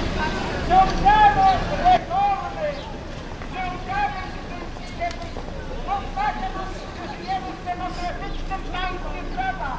Szanowni Państwo, ze mną jest Pan Jan Jączek, osoba, która również od wielu lat walczy tutaj z bezprawiem w naszej... Bardzo proszę o krótkie wypowiedzenie się w związku z tym, co się wokół Pana sprawy tutaj dzieje. Witam, dziękuję panie redaktorze, witam serdecznie pana, witam serdecznie państwa. Moje nazwisko Jan Jączek. Od ponad 11 lat walczę o odzyskanie zagrabionych mi pieniędzy w aferze na ponad miliard złotych. Y, Sprawa jest opisana w internecie szeroko i to, że zostałem w sposób niepodważalny oszukany y, jest treść protokołu z Generalnego Inspektoratu Nadzoru Bankowego jest ugoda zawarta ze mną y, przez Getin Bank. Jest proszę Państwa wpłaty Getin Banku na moje konto. Jest wypowiedź Leszka Czarneckiego przewodniczącego Rady Nadzorczej Getin Noble Banku y, gdzie twierdzi, że w sądzie, w prokuraturze może sobie załatwić y, z proku- w prokuraturze i w sądach y, no bezkarność może sobie y, reasumując załatwić. I ja jestem tego ofiarą od ponad 11 proszę Państwa lat. Jestem ofiarą tego mafijnego systemu od ponad 11 lat. To, co opowiada Ziobro w telewizji, że reformuje wymiar sprawiedliwości, czy naprawia wymiar sprawiedliwości, to są kpiny, to są, y, to jest y, bójda na resorach. No to może pani powiedzieć. Uważam, że minister Ziobro właśnie konserwuje ten mafijny system, który istnieje w prokuraturze i sądach. Zbigniew Ziobro według mnie jest głównym hamulcowym naprawy tego systemu w Polsce. Nie chce wprowadzić ław przysięgłych, nie chce doprowadzić do y, funkcjonowania y, sądów dyscyplinarnych w prokuraturze i w sądach. W związku z tym y, jest to, proszę pana, proszę państwa, generalnie jak to mówi młodzież, ściema, ściema Ziobry, który po, z, z publicznych pieniędzy zapewnił sobie wielkie koryto dla siebie i swoich, swoich znajomych. Dlatego apeluję nie głosować na Zbigniewa Ziobry, proszę Państwa, bo to jest wyjątkowo nieuczciwy funkcjonariusz. Wszystko musimy zrobić, żeby został odsunięty z funkcji publicznej. Każdy ma Dziękuję za uwagę. do wypowiedzi. Dziękuję Panie Jączek. Dziękuję Panie No co, podchodzimy do oryginalnej. Proszę bardzo. Pani, pani również chciała coś powiedzieć. Proszę uprzejmie. E, proszę Państwa, chcę powiedzieć o tych rzecznikach dyscyplinarnych i o ich zastępcach. Oglądali wszystkie przesłuchanie z komisji Amber Gold. Jak był przesłuchany rzecznik dyscyplinarny przez posłów. Jednak posły mają prawo kontrolować. I chce, i żąda, żeby przesłuchiwali każdego sędziego, który złamał prawo, każdego prokuratora, który złamał prawo, bo nie wolno robić krzywdę i łamać prawo, dlatego jest to prawo i to prawo musi rządzić. I walczymy o praworządność, które ma... Nie, nie mogę znaleźć słowa. Pomogę. Szanowni Państwo, nazywam się Michał Mirosław Arak. Jestem sędzią pokoju Krajowego Sądu Obywatelskiego. Jest to komitet społeczny, który został powołany przy Bractwie Liderów, a w chwili obecnej pracujemy pod Fundacją Pokój Polsce, Europie i Światu. Przyglądamy się temu, w jaki sposób pracują sądy, w jaki sposób pracują prokuratury, co wyprawia policja i tak prawdę mówiąc, bardzo nam się to wszystkim nie podoba. Chcemy to wszystko zmienić. Czas najwyższy, aby właśnie ludzie, w szczególności ci poszkodowani, zaczęli się jednoczyć wokół tego wszystkiego i abyśmy w stosunku do tych sędziów, którzy łamią prawo, bo tak prawdę mówiąc łamią prawo, ze względu na to, że to w jaki sposób oni to prawo respektują w stosunku tylko i wyłącznie do siebie samych, a nie w stosunku do tego, jak ono zostało napisane, niestety, ale utrudnia życie całemu społeczeństwu polskiemu. Nie tylko Polakom, ale również wszystkim innym obywatelom. Bądź e, ewentualnie wykorzystują również e, to prawo tylko i wyłącznie dla swojego dobra, dla, dla dobra swoich bliskich. A uważam osobiście, że coś takiego po prostu nie powinno mieć miejsca. Szanowni Państwo, rodacy, Polacy i również Wy, obywatele Rzeczpospolitej Polskiej. Nie może być tak, aby prywatna kasta tzw. sędziów, prokuratorów mogła działać przeciwko nam. Nie powinno również być tak, aby jedna osoba, osoba, która podaje się za sę- sędziego, zakłada togę, zakłada łańcuch, siada na miejscu sędziego, zaczęła decydować o życiu bądź e, majątku tak całego społeczeństwa polskiego. Jest to mniejszość narodowa, która zos- została wybrana nie za pośrednictwem całego społeczeństwa polskiego, a zostali wybrani tylko i wyłącznie ze względu na swoje znajomości, na e, układy, układziki, a to po prostu nie powinno mieć miejsca. Dzięki Dzięki właśnie tego typu działaniom mamy w chwili obec, obecnej bardzo patologiczne podejście e, w wymiarze sprawiedliwości w stosunku do obywateli na terenie Rzeczpospolitej Polskiej. I osobiście uważam, że coś takiego nie powinno już więcej mieć miejsca. Czas najwyższy, abyśmy powiedzieli temu głośne nie. Czas najwyższy, aby sędziowie byli wybierani za pośrednictwem wyborów powszechnych, aby tych ludzi można było rzeczywiście zweryfikować, dowiedzieć się, kim oni są, co oni robią dla społeczeństwa, w jaki sposób oni do, pod, podchodzą do życia społecznego, czy respektują prawo dokładnie z tym, w jaki sposób ono zostało napisane, czy też e, respektują to prawo jedynie dla swojego własnego dobra i swojego własnego widzimisię. No właśnie, Ja w tej chwili, jest ogródek. w tej chwili, w tej chwili będę y, pokrótce kończył. Ze względu na to, że znajdujemy się już w miejscu, do którego y, podążaliśmy i idziemy pod bramę główną. Dziękuję Państwu serdecznie za uwagę. Mamy cztery telewizje, w związku z tym będziemy mogli się wypowiedzieć, więc kto chce, to zapraszamy do relacjonowania swoich spraw. Idziemy mi dalej. Dalej, dalej, dalej. Tak, tutaj tak żeby się połączyć czy nie udział. Janku, pierwszy zabierasz głos.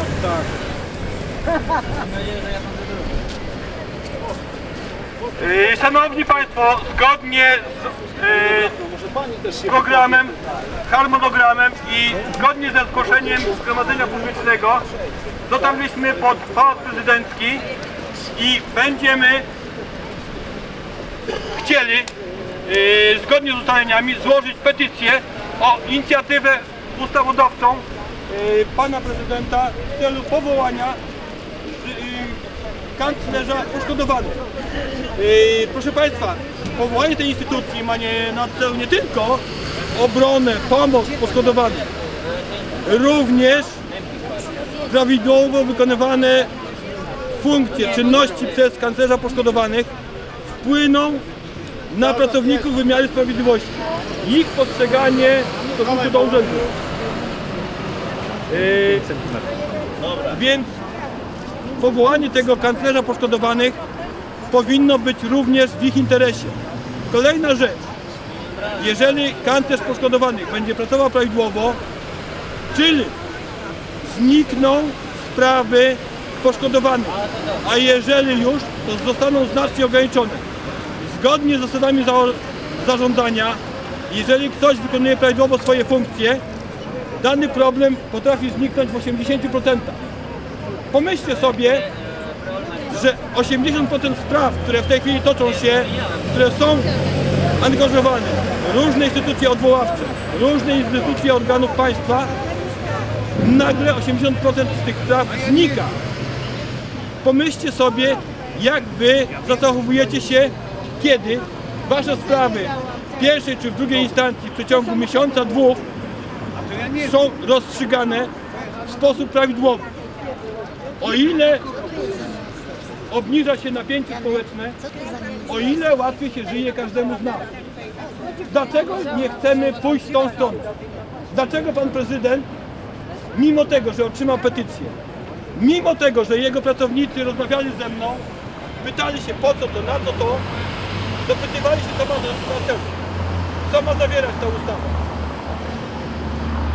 Nie ufatygowali się, żeby zadzwonić, żeby wysłać pismo, żeby wysłać maila. Proszę Państwa, ci ludzie wysyłają setki, tysiące takich czynności podejmują dziennie.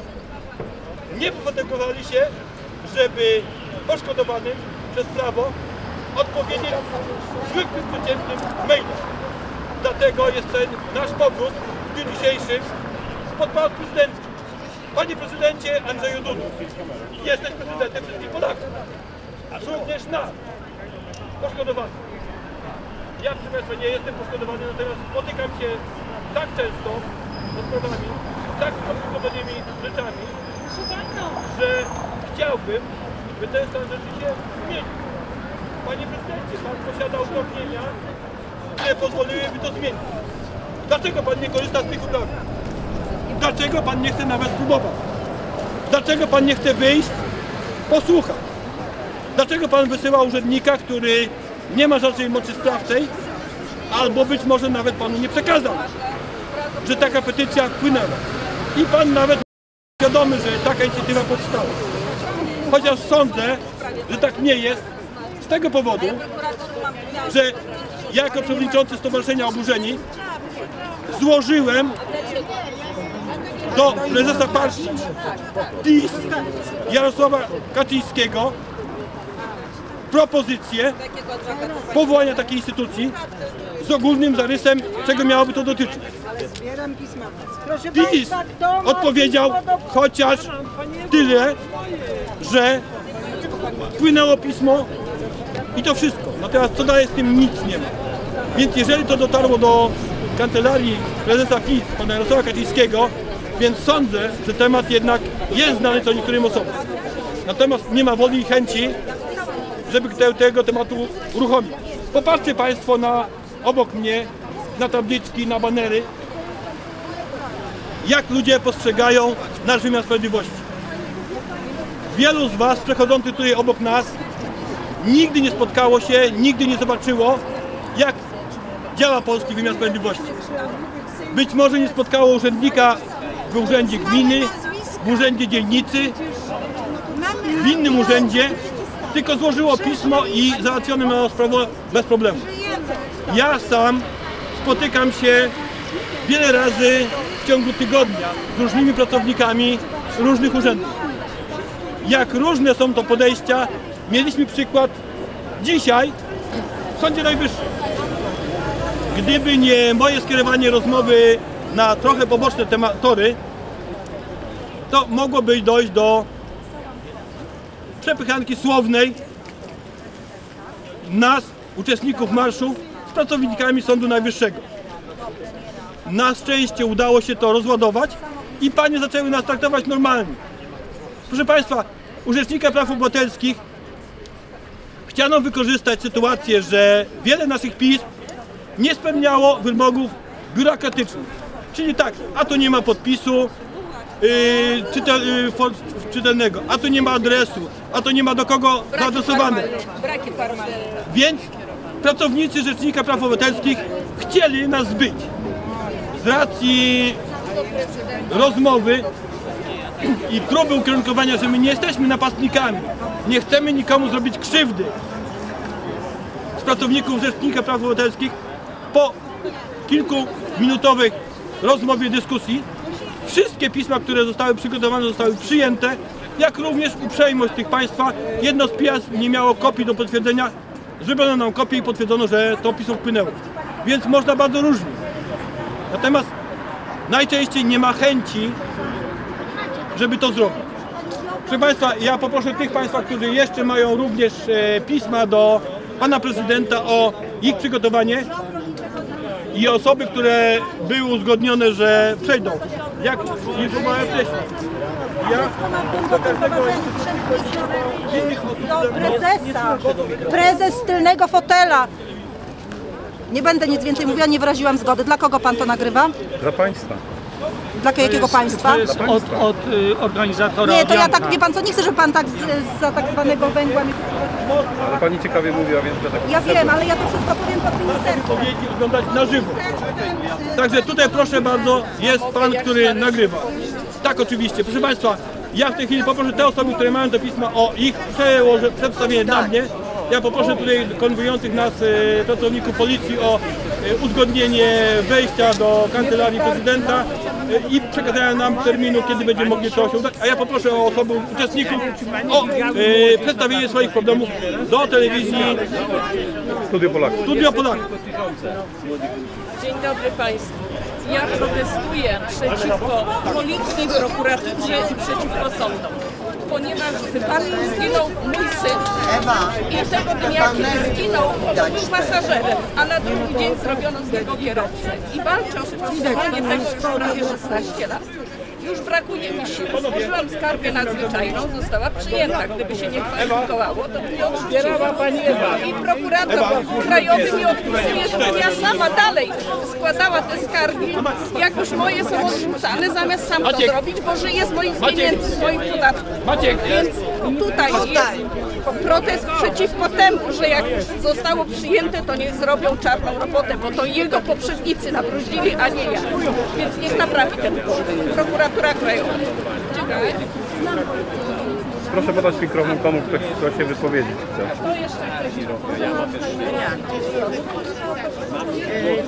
Dzień dobry, nazywam się Danuta Jasiek. Walczę z tą mafią przestępczą w sądach i prokuratorach, e, w ogóle z, z, z urzędnikami państwowymi od 10 lat. Na placu moim, który zakupiłam za uczciwe pieniążki, pan burmistrz w 2011 roku moją własność przepisał na korzyść sąsiadów.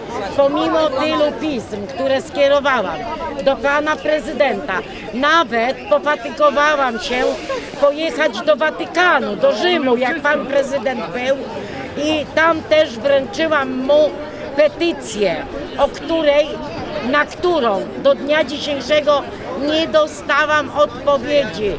W dniu Dnia Matki 26 maja Pan, prez, e, pan e, Morawiecki, premier, złożył mi kwiaty. Dostałam piękne kwiaty, ale cóż mi po kwiatach? Kwiaty zwiędły, a na pismo od dwóch lat nie dostałam odpowiedzi. Bardzo prosimy, aby w końcu zrozumiano nas poszkodowanych i dosyć oszustwa. Panie Ziobro, jak pan nie umiesz rządzić, to tak jak mówi młodzież, zepnij poślady i do domu. Dziękuję. Dzień dobry proszę Państwa. Widzimy, że, że prezydent, Sąd Najwyższy i, i Rzecznik Praw Obywatelskich przyjmą pismo. Ale co nam to da? Kiedy oni tyle razy obiecali i nie dotrzymali słowa, że pomogą poszkodowanym, innym i tak dalej. Może Sąd Najwyższy nie, ale też, też zamiast sędziów skazać prokuratorów i tak dalej, to ich uniewinniają. Dlaczego? Bo już co, żyjemy w państwie komunistycznym? To jest komuna. Psychiatr, psychiatrzy właśnie zamykają ludzi, zamykają ludzi do psychiatryka tylko za poglądy, za to, strycują ich i tak dalej. Rodziny, rodziny przez to upadają, bo wszystkie rodziny myślą, że coś to daje, a to jest guzik, prawda. Można przeczytać, można przeczytać eksperyment Soteria i inne, że psychiatria to jest obłuda i oni są oszukiwani. Jak za Hitlera. Jak inni lekarze oszukują. Że wszystko, że wszystko na ich korzyść, żeby było. Czy ci, którzy wykonują aborcję, czy ci, którzy zamykają do psychiatryka, czy są psychiatrami, szczepionkami, GMO i tak dalej, bo im to zależy na biznesie. To jest tylko biznes. Biznes, to jest największy biznes to jest trucie, zabijanie i tak dalej. Gotowe Niewalanie. formułki mają. Na odpowiedź prokuratura, policja. Prokuratura i policja to już mają nic z tym nie gotowe robi, tak jak ja mówię. I żeby pan Policja, tutaj 100 prokuratura i widział. nic nie robi. Prokuratura, policja nic nie robi. No niestety. Tak jak, Oskarża niewinnych. tak, oskarża właśnie niewinnych, to jest, tutaj z panią się zgodzę. Bo pamiętnika i Rowickiego nie zamykają. Oni przecież jest na nich dowody, że wysyłają o, o jakieś tam e, z dziećmi i tak dalej, bo są za aborcją, bo można, bo są za psychiatrią, bo można ich nie zamykać. Mimo, że oni popełniają jakieś tam przestępstwa związane z pedofilą, pamiętnik Rowicki i tak dalej, bla bla bla. I właśnie, i to właśnie psychiatrzy. I to właśnie psychiatrzy, jeżeli nie będziemy demonstrować, my musimy zawsze demonstrować, jeżeli jest jakaś rozprawa, że chcą nas zamknąć do psychiatryka. Gdybym nie demonstrował, to by mnie zamknęli już dawno i tutaj powtarzam się jeszcze raz. Ty. przecież zamykali i Kękusia, i Brola, Meszko, Moskwę, bo my nie demonstrowaliśmy. Na szczęście, na szczęście, szkoda, że z nami nie ma doktora Kękusia i zapraszam go, żebyśmy kiedyś podyskutowali, porozmawiali i inni, którzy zostali naprawdę podskadowani przez wymiar niesprawiedliwości, przez lewacko-liberalną psychiatrię. Lewicowo-liberalną psychiatrię, bo to trzeba, bo lewactwo to jest lewico-liberalni. Nie mogę pod słońcem. Sądy i tak dalej. Kogo zamykają? Nawet chłopak był, który był na Marszu Niepodległości, próbowa, próbowali z niego zrobić wariata za czasów Platformy. Czy to PiS, czy to PO, to jest jedno zło. Tak samo Lewica czy inni. To przecież to jest to samo. Możecie sobie zobaczyć na listy. Kogo, na kogo my mamy głosować w tych listach, którzy nam dają? Na tych, którzy oszukiwali wcześniej? Na SLD, które do, o, mało, o mało co nie doprowadziło do zapości gospodarczej? Na Platformę, która wysprzedała wszystko? Związki zawodowe? Czy na PiS, gdzie mamy bardzo wysokie rachunki? Albo PSL, który się łatwo można, który łatwo się sprzedaje. To jest dramat. To są antypolacy. No ja mówię, to się ma. Ja mówię tak, że jest wybór. No można na kogoś głosować, który jest w innym okręgu. Ja aku- akurat bardziej jestem za Konfederacją. Ale jeżeli ktoś chce na inną listę, taką propolską, to niech głosuje. A jeżeli ma zmarnować ten głos i ma być konstytucja nowa, która będzie jeszcze gorsza, to lepiej, żeby w ogóle nie głosował. Bo to mnie mało W ogóle najlepiej. Nie głosujcie. Zagłosujcie, zagłosujecie na PiS, zagłosujecie na Platformę, na Lewicę, na PSL. To będzie zmarnowany głos i będziecie tego żałować do dziś dnia. Raczej wy już na pewno, raczej będziecie żałować tego, co się wydarzy. Nie zagłosuję za pana, bo pana No to już teraz daję panu Arakowi. Dziękuję uprzejmie. Szanowni Państwo, tutaj spotkaliśmy się dzisiaj ze względu na to, że w Polsce grasuje tylko i wyłącznie bezprawie. Rzeczywiście całkowicie bezprawie ze względu na to, że tak samo sędziowie, prokuratorzy, jak i również policja, to wszystko jest jedna wielka grupa, która ze sobą współpracuje. Współpracuje, ale nie na rzecz naszego wspólnego dobra, pomimo to, że składali przysięgę, ale pracują tylko i wyłącznie dla swojej własnej e, inicjatywy, która która nas wszystkich w chwili obecnej deprymuje. Robią z nas przedmioty, a powinniśmy być upo- upodmiotowieni.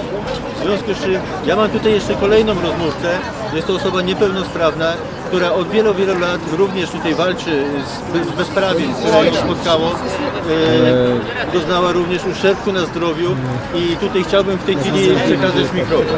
Bardzo proszę. Pani, pani Wiesławo, proszę, proszę uprzejmie powiedzieć kilka słów w związku z tym, co wokół Pani się w chwili Mirek? obecnej dzieje. Mirek, e, weź podaj Pani ten nagłośnienie i bez mikrofonu.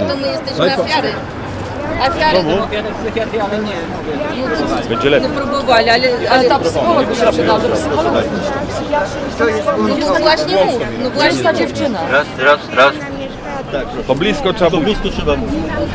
Dzień dobry, szanowny panie prezydencie. Miałam nadzieję, miałam nadzieję, że jest Pan również moim prezydentem. Prezydentem wszystkich Polaków. Czekałam na zmiany w prawie, w praworządności. Od 2005 roku, jak zakupiłam dom, nie mogłam go re- wyremontować. Kopnięta przez pracownika, funkcjonariusza policji w nogę, przeszukania bezpodstawne.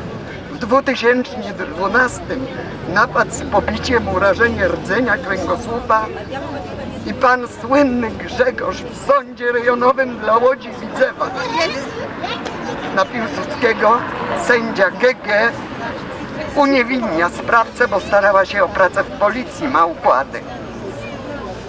Po czym zostaje skazana na 8 miesięcy, na 2 lata pozbawienia wolności, w zawieszeniu na 2 lata pozbawienia wolności, a dla mnie przy czteroletnich wydatkach 50 tysięcy złotych zasądzono 400 złotych nawiązki. Ja ze swojej emerytury dam i panu prezydentowi, i panu premierowi, i panu ministrowi sprawiedliwości, a zarazem prokuratorowi generalnemu Polskiej Rzeczypospolitej dam wam po 400 złotych nawiązki. Weźcie moje cierpienie, gdzie dokonuję teraz kolejnego włamania z kradzieżą emerytowany oficer Komendy Wojewódzkiej Policji w Łodzi Aleksander M. Sąsiadka wzywa policję w trakcie przestępstwa. Przyjeżdżają, nic nie robią, nie, za, nie zabezpieczają śladów, zniszczonych zabezpieczeń. Po półtorej godziny do dwóch, jak jestem dowieziona, wówczas się poruszałam o dwóch kulach. To był listopad 27 2015 roku. Panowie policjanci mieli sprawcę, mieli świadków na miejscu i osobę, która zawiadomiła o przestępstwie. Ta jedna szara kobieta dzisiaj również nie porusza się o własnych nogach, nie mieszka w swoim mieszkaniu w Łodzi, lecz w Warszawie, pod opieką jej rodziny, jej świętej pamięci męża, bo mieszka w tym samym klatce, bloku, co sprawca. Sprawca, funkcjonariusz policji. Co zrobiła policja? Wzięła mnie i sąsiadkę na komisariat, żeby złożyć zawiadomienie. Panie prezydencie, pano, panie premierze, panowie ministrowie, ja nie jestem w stanie już do was pisać i przyjeżdżać. Tu byłam również siedem razy. 15 pis do ministra sprawiedliwości. Totalna ignoracja 67-letniej kobiety. Sprawca przyjechał na siódmy komisariat Komendy Miejskiej Policji w Łodzi, naubliżał mi, cytuję, zapomniałaś kurwo jak pracowałaś w piramidzie na Dąbrowie w Łodzi. Ja mam te filmy. Nigdzie nie pracowałam. Przysięgam na swoje życie. Ja byłam ofiarą tej piramidy, którą założył człowiek z Warszawy, Jerzy D. i Jolanta DB. Tam prawie 400 ludzi wróciły wspomnienia, karetka zabrała mnie na SOR, a policja wiedziała o groźbach pozbawienia mnie mojego wiatogarażu i mojego samochodu osoby niepełnosprawnej Renault Laguna wszczęła postępowania przeciwko mnie o przywłaszczenie mienia i przeciwko mojemu partnerowi za dokonanie włamania, którego nie dokonał. Rok i siedem miesięcy ciągano go po sądach. Ja do dziś nie odzyskałem wiatogarażu i samochodu. A mam grożone, jak nie odpuścisz kawo, to skończy się Jolanta Brzeska w Warszawie. Chyba tak skończę, panowie. Prezydent Rzeczypospolitej i mój premier Studio Polska, pani Magdalena Ogórek, która nie dopuszcza do głosu. Pan Jacek Łęski, którzy dokumenty wzięli Pan reporter też, Plona, wszyscy obiecują, wszyscy obiecują. A naiwna Pokorska Wiesława z Łodzi przyjeżdżała i wierzyła. Adwokaci się boją. Miał być paragraf przeciwko sprawcy, artykuł 279, paragraf pierwszy, bo tak funkcjonariusze na miejscu zdarzenia, w dniu zdarzenia określili, a zrobiła sobie policja z prokuraturą, łącznie z okręgową. 278, paragraf pierwszy kodeksu karnego. Usunięcie samochodu. Jakim prawem? Nie popełniłam żadnego wykroczenia drogowego. Mój samochód sprawny po przeglądzie technicznym. Do dziś płacę OC, a nie wiem w jakim jest stanie. Interwencja próbowała mi pomóc, telewizja. Pan Paweł Gregorowicz pojechał ze mną do siódmego komisariatu, gdzie mnie wezwano po odbiór samochodu na pierwsze piętro, kobietę w wózku. Poprosiłam, że chciałabym najpierw zobaczyć mój samochód, moją własność. To go pani nie zobaczy. Pan pozostanie, a pani wejdzie i podpisze. Nic wam nie podpisze. Matacze to mafia. To mafia, w którą również jest włączony, bo popełnił działania niezgodnie z prawem na etapie budowy naszych wiatogaraży. Szef Urzędu Dzielnicowego dla Urzędu Miasta Łódź Górna na Politechniki. Pan Czesław W. Proszę, proszę rząd, opamiętajcie się. Jedni chcieli, byliśmy, byliśmy pod zaborami. Polska, nasza ojczyzna. Trzech, a właściwie czterech zaborców. Ruski, pruski, austro-węgierski. SLD i PO przygotowało nas do dwóch zaborców. Rosja i Niemcy. Panie prezydencie, panie premierze, panowie ministrowie, wszyscy, łącznie z Rzecznikiem Praw Obywatelskich, macie moje pisma. Do tego właśnie pałacu, w to miejsce i do Biura Interwencji Pomocy Prawnej prezydenta Andrzeja Dudy przyjeżdżałem wielokrotnie. Trzykrotnie wkręcone wkręty metalowe w dwa koła mojego innego samochodu. To jest mój jedyny środek transportu.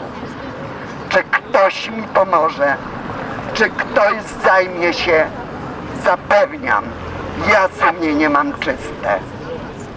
Ja też wykonywałam pracę publiczną, ale po cudzy grosz, na którym nie zapracowałam, nie wyciągnęłam ręki. A nawet jak znalazłam, czy pozostawiono, zwróciłam. Nie pozwolę, by zniszczono godność moich przodków i ich rodzin, którzy walczyli na Lubelszczyźnie. Znana rodzina Oś Osińskich Goławskich podeptano dla obrony przestępcy. Przestępcy, który nadal mi grozi. Nadal mi grozi, że jak nie odpuścisz, ja nie żartuję. Pytam, jak długo mam znosić te cierpienia? Są moje pisma, byłam tu. Pan prawnik podał mi pismo, tylko niewłaściwego powoda. Sąd dla Łodzi Widzewa wszystko zamiata. Rozmowy z prezesem, panem Markiem P. też, panie ministrze Ziobro, nic nie pomagają. U pana zarobiłam pod ministerstwem na niebieskiej kopercie od Straży Miejskiej z kartami, z osoby niepełnosprawnej z abonamentem bezpłatnym 50 zł mandatu od warszawskiej Straży Miejskiej. Zapłaciłam. To jest mój jedyny mandat kobiety w wieku 67 lat. Mam badanie lekarza biegłego, sądowego, którego wyznaczył sąd. Nie zrobili ze, mną, ze mnie psychiatrycznej. I proszę mi uwierzyć, powołuję się na wasze sumienie. Jeśli je macie tak czyste jak ja, moje sumienie i moje ręce, pomóżcie mnie. Zróbcie porządek w Łodzi. Pomóżcie wszystkim skrzywdzonym Polakom w naszej ojczyźnie. Niech prawo będzie prawem. Bóg Bogiem. I ojczyzna niech pozostanie naszą ojczyzną. Na honor tu niczym się nie będę powoływała. Brawo dla pani Wiesławy. Brawo! Dziękuję panom bardzo. Nie jestem w stanie napisać, przepraszam. Szanowny panie prezydencie, Nie jestem jak w stanie. widzi pan, ja mam zebrała się cztero tutaj grupa ludzi kończynowe poszkodowanych przez A ktoś jeszcze tak mi zarzuty zwaną stawia, że ja sprawiedliwość. Tej powiedziałem. sprawiedliwości w Polsce nie mamy, a Pan może ma pan Zbyszek tutaj To pokazać jest się upokarzające. wśród nas? Ja powiedziałem, że w każdej komórce społecznej są ludzie i taborety. Może czas najwyższy, aby Bo pokazać takie jest określenie wśród młodych. Nigdy przenigdy. To, że Fajbusiewicz sobie nakręcał filmy w komendzie wojewódzkiej, gdzie sprawca pracował, ja jestem więźniem, w sklepach, w pawilonach. No pani musiałaby cały dzień opowiadać. I telewizja w Łodzi odmawia, i Plona odmawia, Gregorowicz się odważył z Polsatu. Cóż z tego, jak samochodu nie zobaczyliśmy? I nie mam. W nocy na chodzenie odbierz kawoi po sprawie. Zjedzcie go sobie, panowie. Dziękuję. Zapraszamy tutaj pana, niech pan porozmawia z tymi wszystkimi ludźmi, a nie chowa się za kratami, nie chowa się tylko i wyłącznie za żołnierzami, którzy chronią was ze względu na to, że boicie się narodu i społeczeństwa polskiego. Dziękuję. A teraz, a teraz przekazuję panu Włodzimierzowi Mielczarkowi, ze względu na to, że też ma tutaj bardzo ważną kwestię do powiedzenia. Zapraszam pana. Uciekam razem Nam dodadzą prezent, ale, ale bez łez. Proszę Państwa, moje nazwisko Wojciech Milczarek. Reprezentuję Społeczny Komitet Obrony Praw i Wolności Obywatelskich Stowarzyszenie Veritas Złowicza. Od 19 lat jestem osobą wraz z rodziną pokrzywdzoną przez polski wymiar niesprawiedliwości. Tak jak tutaj Państwo widzicie, są przedstawione linki, tak, gdzie nasza sprawa była w ciągu dzie- y, 19 lat, była pięciokrotnie w mediach ogólnopolskich była przedstawiana. Także w kanale YouTube y, są, jest przedstawiona ta sytuacja wraz z opisem. Krót, powiem krótko o co chodzi. Moim ciężko chorym wujem jest osobą całkowicie ubezwłasnowolnioną. Sporządzano akty notarialne. Te akty sporządzano z rażącym naruszeniem przepisów prawa, przepisów ustawy, wreszcie konstytucji. Mamy do czynienia z wielką aferą z lokalnej sitwy w Łowiczu z udziałem notariusza, byłej sędzi Sądu Rejonowego w Łowiczu i wójta gminy Łowicz. Ta afera od 19 lat jest ukrywana przez prokuratorów apelacji łódzkiej wszystkich szczebli i prokuratury łącznie z prokuraturą krajową, która od 19 lat pozoruje działania, mataczy, nie potrafi podjąć skutecznego śledztwa. Proszę Państwa, w wyniku tej afery mamy obciążone hipoteki prawie na kwotę 2 miliony złotych. Cały czas jest zagrożenie, że możemy zostać zlicytowani. I nikt nie chce w tym kraju nam skutecznie pomóc. Pomimo, że ta sprawa, jak Państwo widzicie, była wielokrotnie nagłaśniana w mediach ogólnopolskich. Wszyscy boją się tej afery.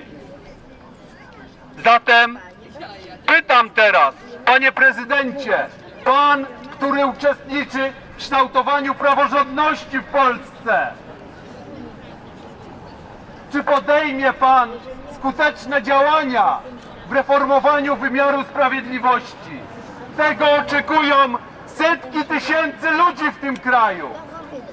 Proszę Państwa, tylko dlatego, że ujawniam te korupcyjne, mafijne działania, podejmuje się represje wobec mojej osoby. Dąży się do tego, żeby mnie skierować do szpitala psychiatrycznego i zamknąć w kryminale. Wytoczono mi cztery procesy karne. Wytoczyły mi osoby, które powinny mieć zarzuty karne. Powinny siedzieć w kryminale. I tylko dlatego, że ujawniam te rzeczy, jestem atakowany. Proszę Państwa, w jakim kraju my żyjemy? To wręcz się w głowie nie mieści. Reprezentuję Społeczny Komitet Obrony Praw i Wolności Obywatelskich Stowarzyszenie Veritas z Łowicza. Na co dzień spotykamy się z wieloma przypadkami krzywdzenia nas przez sędziów, prokuratorów, notariuszy, komorników, policjantów, urzędników. Proszę Państwa, ta grupa jest poza prawem. Nie ponoszą za nic odpowiedzialności. Tylko my, którzy ujawniamy te sprawy, jesteśmy, podejmuje się represje wobec nas. Dziękuję bardzo. Dziękuję Ci serdecznie. E, Tutaj mamy jeszcze jedną panią. E, Zanim Pani dam głos, to tutaj e, osoba była wcześniej przed Panią. Oj, Pani odważniejsza. No bo ja chcę razem połączyć wszystko, co oni mówili, podsumować. No to w takim to podsumowanie zrobimy na koniec. organizacji w Łodzi nie ma nic. Mów prawdę, mów prawdę. Ale powie jeszcze, No nie? jeszcze, no teraz. że w Łodzi nie ma nikogo, żadnej organizacji. Albo Zbyszek niech powie. Jak się pozbawili... A on nie chce. W Łodzi była organizacja, ale ją rozwaliła. Lec. Powiedzieć Więc powi- niech Zbyszek to powie.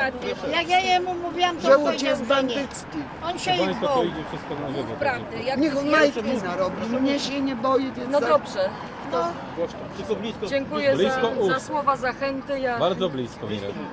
Dziękuję za słowa zachęty. Ja nie mam takiej odwagi ani doświadczeń, żeby mówić tak publicznie, e, ponieważ, e, no nie, mo, może nie zupełnie przez tą moją historię życiową, ale poniekąd pewnie też. Ja byłam maltretowana przez też wiele lat, niszczona psychicznie, fizycznie uszkodzona, pobita przez policjantów, przewrócona. Uczestnicząca w procesach sądowych, gdzie musiałam słuchać Włącz mikrofon daj. Nie, mówi Pani, mówi. A, okej. Uczestniczyłam w procesach sądowych, gdzie musiałam wysłuchiwać koszmarnej przemocy psychicznej w postaci przekręcania wszystkich faktów. Nie dopuszczano mnie w ogóle do, do wypowiedzi. Moja sprawa sądowa toczy się już od trzech lat e, w postaci. Wszystko opiera się na jednostronnych zeznaniach. Cały czas E, Proces toczy się na jednostronnych oskarżaniach mojej osoby. W żaden sposób moje wypowiedzi od trzech lat nie są dopuszczane, ani wyjaśniana ta sytuacja. Nawet obrońcy, których dostaję, dostałam najpierw z urzędu. Momencik, czekaj, czekaj, moment. Dostałam z urzędu. Obrońca namawiał mnie żywcem do kłamania, żeby sprawa ucichła dla świętego spokoju.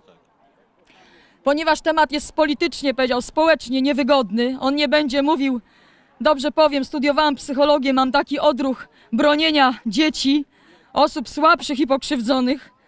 I nieważne, czy to będzie ksiądz, czy to będzie osoba publiczna, jeżeli dochodziło do skandalicznych sytuacji, które dochodziły do mojego głosu, zgłaszały mi się ofiary, potrzebowały pomocy, doradztwa, reagowałam i po prostu posunęłam się, że poszłam zwrócić księdzu uwagę. Niestety mamy takiego biednego hazardzistę.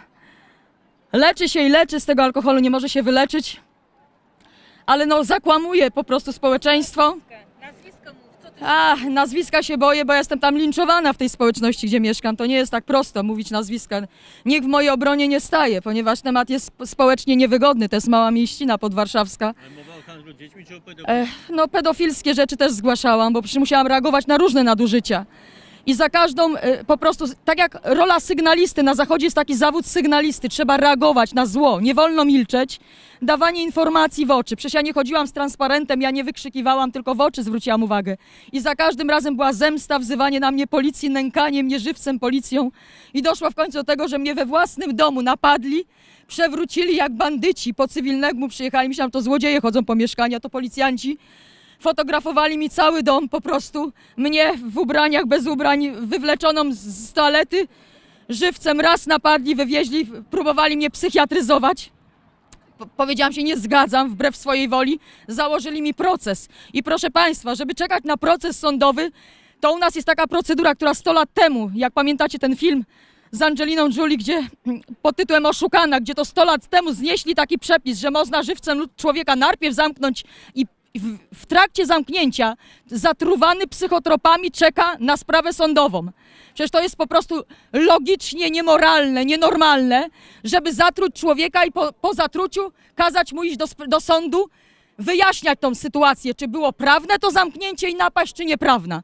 To już jest procedura, która wymaga zweryfikowania, po prostu zniesienia takiego przepisu. To jest po prostu skandalicznie niemoralne. Ja byłam zatruta, ale świadomości nie straciłam. Chciałam iść do sądu, mnie nie dopuścili. Byłam tam niszczona 5 miesięcy, maltretowana, potem pół roku wymiotowałam zatrucie, żołądek, wątroba zniszczona. Powiedziałam, że nigdy bandytom tego nie wybaczę. Moja mama była do tego bezczel, bezczelnie wykorzystana, namawiana, bo się bardzo bała księdza i jej się wydawało, że musi się zgadzać na to, co ją namawiają przeciwko własnemu dziecku, które kochała. Oczywiście umarła, nie przeżyła tej sytuacji. Nie przeżyła tego, że musi chodzić do sądów. Ona miała prawie 90 lat, się do tego nie nadawała.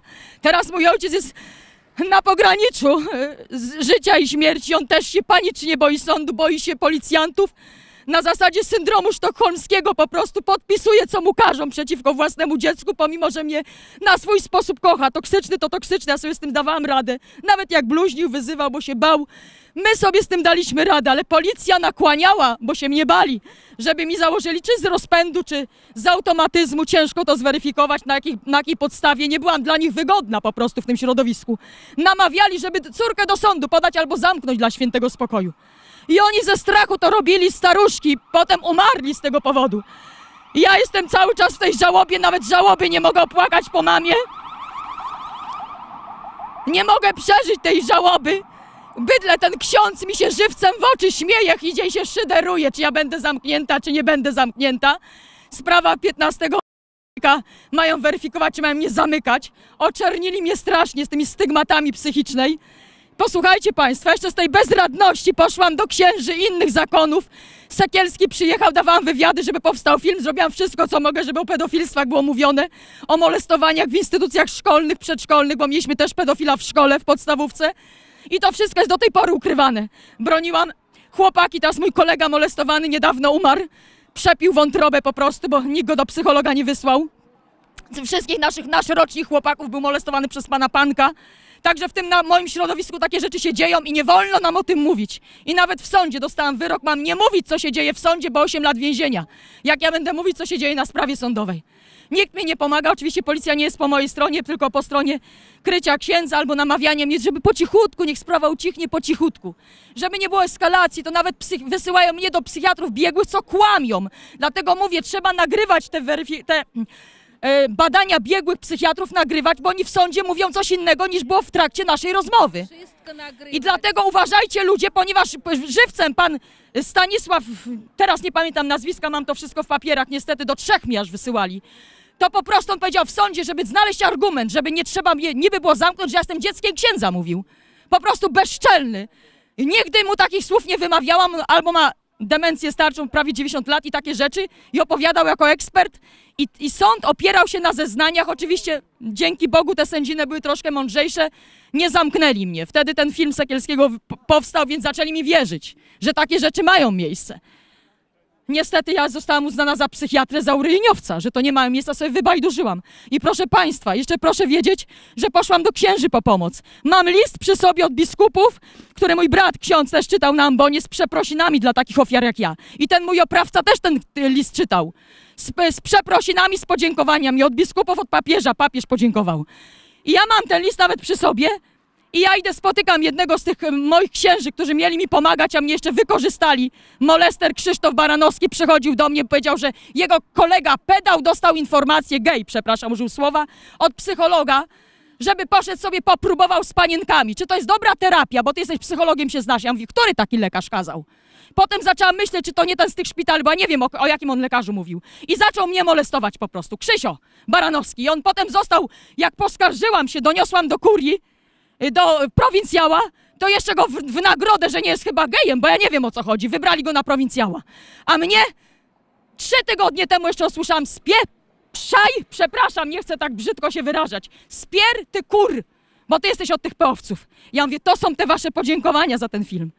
Także taka jest wersja prywatnie, a pod publiczkę coś innego. Nadal mam sprawę w sądzie, nie dopuszczają mnie do wypowiedzi.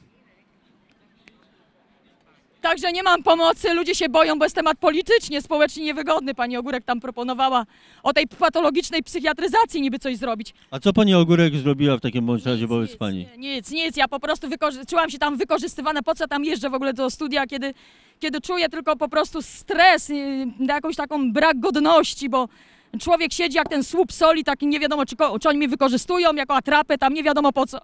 Przecież jeżeli coś, to bym parę rzeczy nawet prywatnie poszłam za kulisy, powiedziałam. To jest bardzo ważne, skoro walczycie z genderyzmem, ja też tego nie uznaję. Absolutnie jestem przeciwko genderystom, przeciwko aborcji, przeciwko, jestem za wartości, wartościami chrześcijańskimi. A psychiatrzy przecież promują gender, więc taki ksiądz chodzi się leczyć do psychiatrów i potem szyderuje im się w gębę, że mnie zamiast niego zamykają, bo on ma problem z alkoholem, to mnie na to miejsce wysyłają? No. Adwokat? Ja, ja zaraz powiem.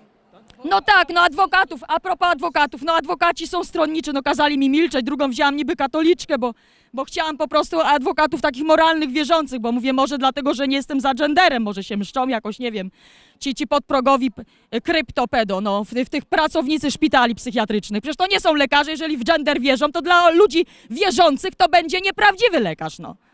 I powinni to księża mówić. Ja tyle z księżmi rozmawiam, jeszcze w środę rozmawiam, mówcie to na ambonach, ostrzegajcie przed psychiatryzacją, przed psychiatrami. Skoro walczycie o prawdę, o światopogląd, to kto kreuje homoseksualistów?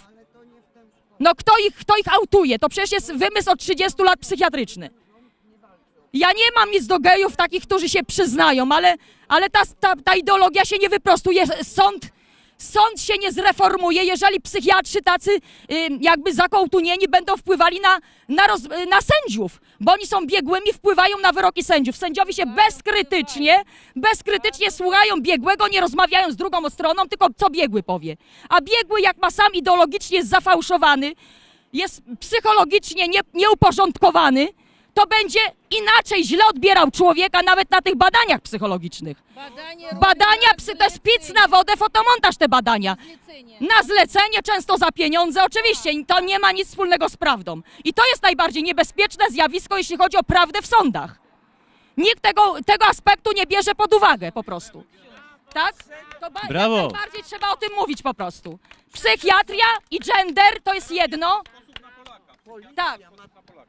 To już jest mataczone na samego, samego początku. Ma pani przykład mojej sytuacji, gdzie oficer Komendy Wojewódzkiej Policji w Łodzi, Wydział Kryminalny, popełnia przestępstwo z artykułu 279, paragraf pierwszy.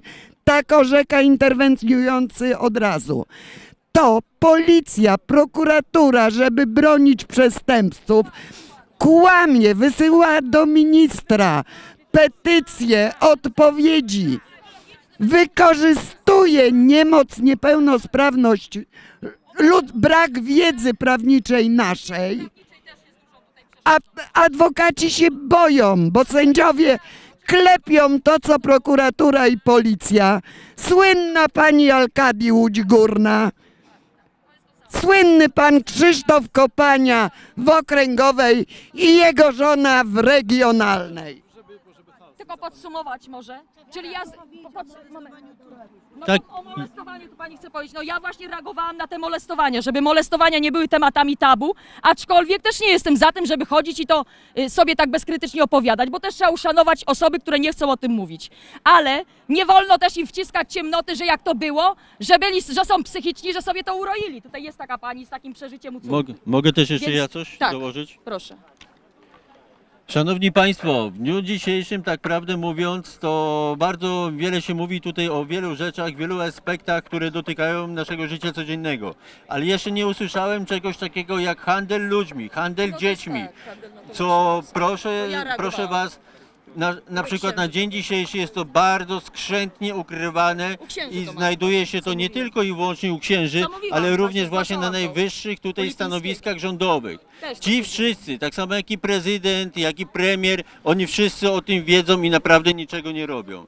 Ludzie są handlowani, e, sprzedawani do burdeli, sprzedawani są na organa, Czułam się. tak samo, tak samo jak dzieci sprzedawani są do Tak domów samo publicznych, e, również sprzedawani są na organa oraz e, do różnych sekt religijnych, e, gdzie różne rzeczy tam naprawdę się dzieją. E, Tutaj chciałbym jeszcze oddać mikrofon kolejnej pani. Proszę uprzejmie. Jedno i drugie. Po raz kolejny.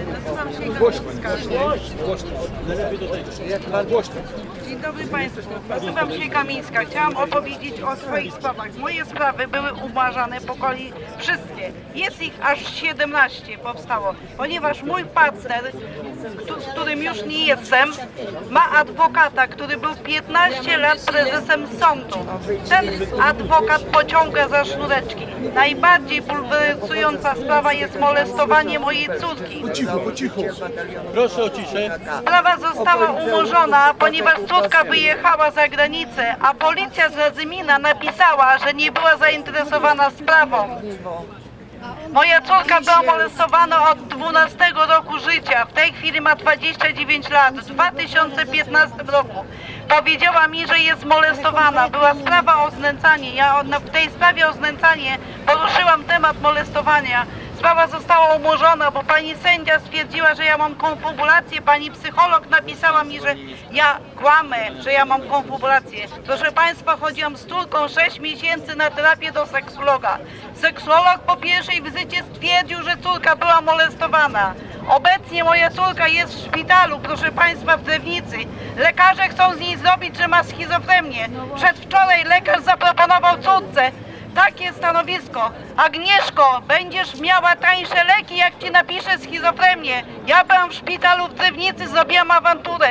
Poszłam do y, przełożonych i powiedziałam, żeby córka zmieniła lekarza, żeby była kobieta, a nie mężczyzna, ponieważ ona nie tylko była molestowana, była gwałcona przez mojego partnera. Córka po prostu ma taką traumę, że musi tą terapię traumy przejść 4 lata, psycholog stwierdziła. A na siłę po prostu szpital Drewnica chce wmówić mojej córce, że jest choda na schizofrenię. Będę, proszę Państwa, poddawać córce badaniu profesorom, żeby profesorowie orzekli stan mojej córki, bo nie jest choda na schizofrenię. Chciałam jeszcze Państwu powiedzieć najistotniejszą sprawę, że Pani sędzia w Wołominie, miałam dwie obdukcje lekarskie, gdzie mój partner nie był, napisała, że ja się sama, proszę Państwa, pobiłam. Masochista. No tak, u mnie to samo. Masochista. Mało jeszcze tego, proszę Państwa, w Warszawie wszystkie sprawy były Że ja- umorzane po kolei. ja przewaliłam Sprawa o nieruchomość. Mój partner że wymyślił przewaliłam. tam w nieruchomości, że mam schizofrenię. Razem z adwokatem uknuli. Proszę Państwa, adwokata podałam do sądu. Wygrałam sprawę z adwokatem. Ale nie mogę teraz udowodnić kłamstw mojego byłego partnera, ponieważ adwokat dalej działa i pociąga za szureczki. W sprawie na woli chcę udowodnić kłamstwa mojego partnera, ponieważ nie posiadał hipoteki, a w sądzie zeznał, że wziął kredyt za hipo hipoteczny. Postawiłam dom na jego działce, wyszykowałam, a teraz jest mi napisana eksmisja. Mogę być z córką bezdomna, bo jesteśmy obydwie niepełnosprawne. Moje sprawy są po prostu w opłakanym stanie, ale mogę Państwu powiedzieć jedną rzecz, że chodziłam do Studia Polska, tam dostałam pomoc, tam się zainteresował moją sprawą profesor Czarnek. Profesor Czarnek od marca skierował sprawy do prokuratury krajowej. Trzeci raz wracają, proszę Państwa, moje 17 spraw do prokuratury krajowej. Prokuratorzy zwracają do jednostki, do Wołomina, bo są takie znajomości, że sprawy nie rozpatrują. Tylko, tylko z powrotem. Chcą po prostu zamknąć sprawę. Ja nie odpuszczę, proszę Państwa, i wzywam wszystkich poszkodowanych Polaków, żeby po prostu stanęli z Wami do walki, żebyśmy nie odpuścili tego bezprawia, żeby sędziowie byli karani, prokuratorzy, policjanci, wszyscy, którzy przyczyniają się do naszej krzywdy, bo my nie jesteśmy tylko krzywdzeni tak, tylko moralnie, fizycznie, psychicznie. Cały po prostu system jest do wymiany. Reforma sprawiedliwości powinna być zrobiona jak natychmiast. Ja nie mówię, że PiS nie pomaga Polakom. Pomaga PiS Polakom, ale reformy sprawiedliwości nie robią, bo nie chcą, tylko zamiatają wszystko pod dywan. Oszukują nas tak jak mogą. Z każdej strony jesteśmy krzywdzeni. Nie dajmy się, stwórzmy po prostu jakąś taką swoją poli- y, y, swój taki związek, żeby wszyscy ludzie poszkodowani mogli po prostu uczestniczyć, żeby każdy mógł po prostu dojść tej prawdy. Bo ja jestem wychowana, proszę Państwa, na prawdzie od dziecka. Dla mnie prawda i słowo to jest wszystkim, co mam na świecie. Dla mnie prawda to jest najważniejsza, a prawda, proszę Państwa, sama się obroni. Ja będę wszystkim poszkodowanym pomagać, ponieważ znam bardzo dobrze profesor Krzegotowską. Jeżeli ktoś chce to mogę po prostu pomóc się skontaktować, bo pani profesor Krzygotowska jest profesorem prawa, doktorem prawa i bardzo dużo pomaga poszkodowanym. Są co sobota w Studio Polska, proszę się tam zwrócić, tam są przecież ale też adwokaci, pomagają wszyscy, pomagają po prostu, tylko po prostu ludzie po prostu muszą po prostu być cierpliwi. Nie ma po prostu, tak nie ma w sądach, proszę Państwa, żadnej sprawiedliwości. Wszyscy się, sędziowie są na uszywy. Wywieźmy ich, proszę Państwa, na taczkach, tak jak kiedyś Solidarność wywoziła. Titanic, Titanic wybudować trzeba, Titanic. Trzeba I też myśleć o innych zatopić. ludziach, że nie Prokuratura pomagają tak samo. Pan Ziobro, wzywam tutaj pana Ziobra, żeby po prostu wyłączył prokuraturę z Wołomina, bo cała prokuratura z Wołomina działa na moją szkodę. Wszystkie sprawy po kolei były umorzone na kłamstwach. Każda jedna. Nawet nie zeznawali świadkowie, tylko po kolei umarzali. Ale nie mogli mnie w stanie pokonać. Powiem Państwu dlaczego. Dlatego, że jestem bardzo mocna duchowo. Związana jestem z Bogiem. Pan Bóg mnie prowadzi, Pan Bóg mnie pomaga i nie mogli mnie po prostu wsadzić do szpitala psychiatrycznego. Nie byli w stanie mi dać rady i nie pokonają mnie, bo ja mam siłę woli ducha.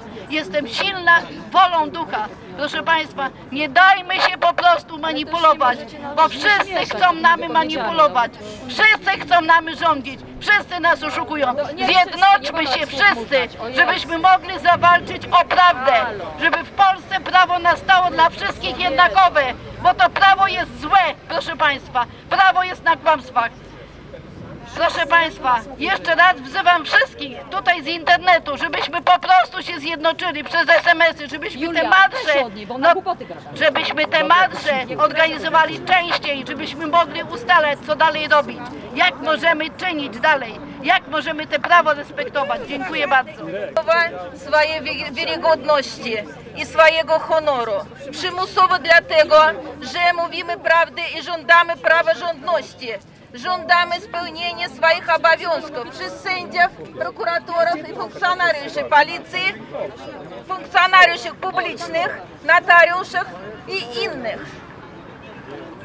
Dlatego żądamy od tego rządu PiSu praworządności, spełnienie zasad praworządności, czystki swoich e, organów, organów i otoczenia, w których pracują prokuratury, organy wymiaru sprawiedliwości, sądy rejonowe, sądy okręgowe i policja. Policja, która może zrobić wszystko, wszystko co każe im prokuratura. I nie ma tutaj żadnych ograniczeń. My jesteśmy zagrożeniem dla tych niezawisłych sędziów, które samowolę czynią bezprawnie, bezkarnie, niekontrolowane. Nikt ich nie kontroluje. Żadny rze- rzecznik dyscyplinarny nie będzie pisać przeciwko sędziemu. On ich broni. A my? Co my mamy zrobić? My jesteśmy ofiarami, ofiarami tego bezprawia. Bezprawie, które w ogóle есть бескарные, бескарные право, которое есть для всіх єднакове, как говорили люди раз выступали.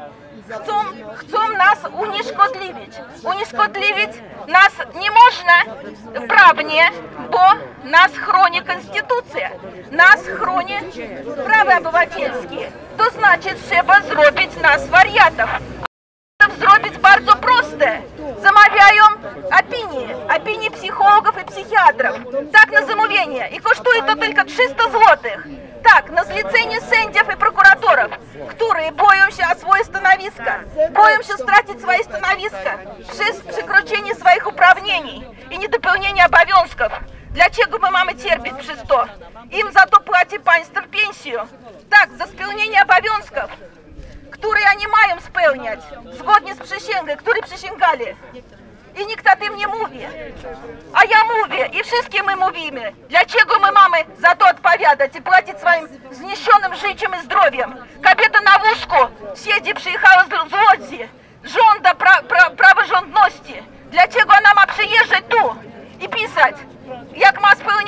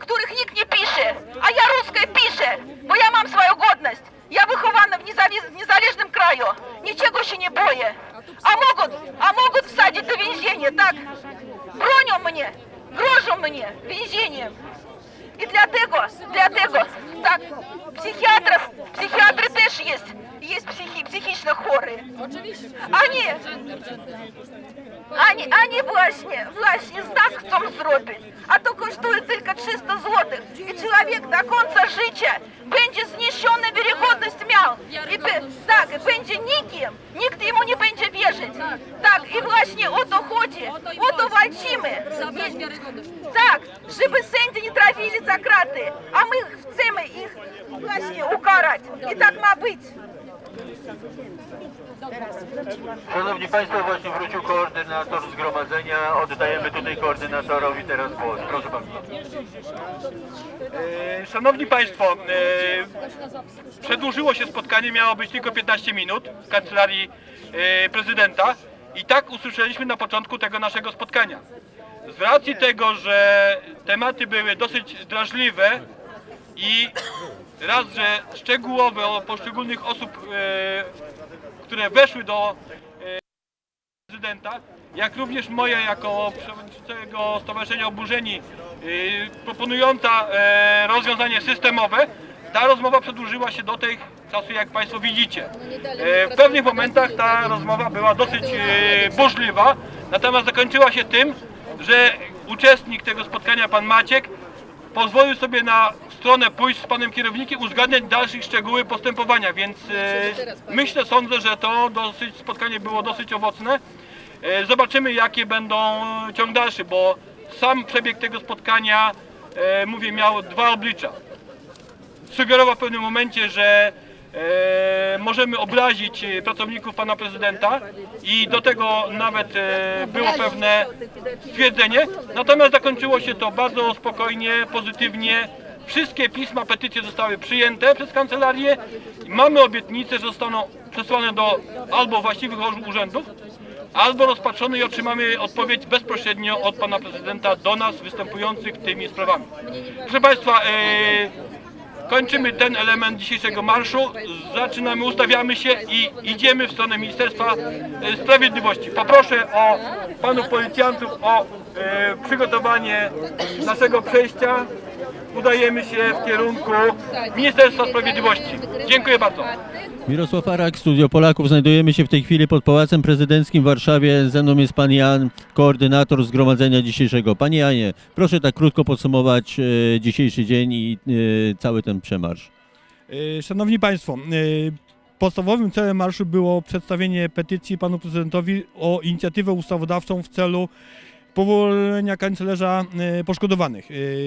Rozmowa miałaby trwać 15 minut, trwała prawie godzinę. Przedstawiliśmy e, większe założenia, bardziej szczegółowe, jak również podjęliśmy ustalenia co do e, dalszego postępowania z naszą petycją. Jeżeli mm, pracownicy kancelarii prezydenta e, będą w stanie dotrzymać i przekierować do osób odpowiedzialnych, to, to dzisiejszy marsz może osiągnąć swój cel. Również Przepraszam, a czy padły w ogóle jakieś obietnice tutaj z ich strony?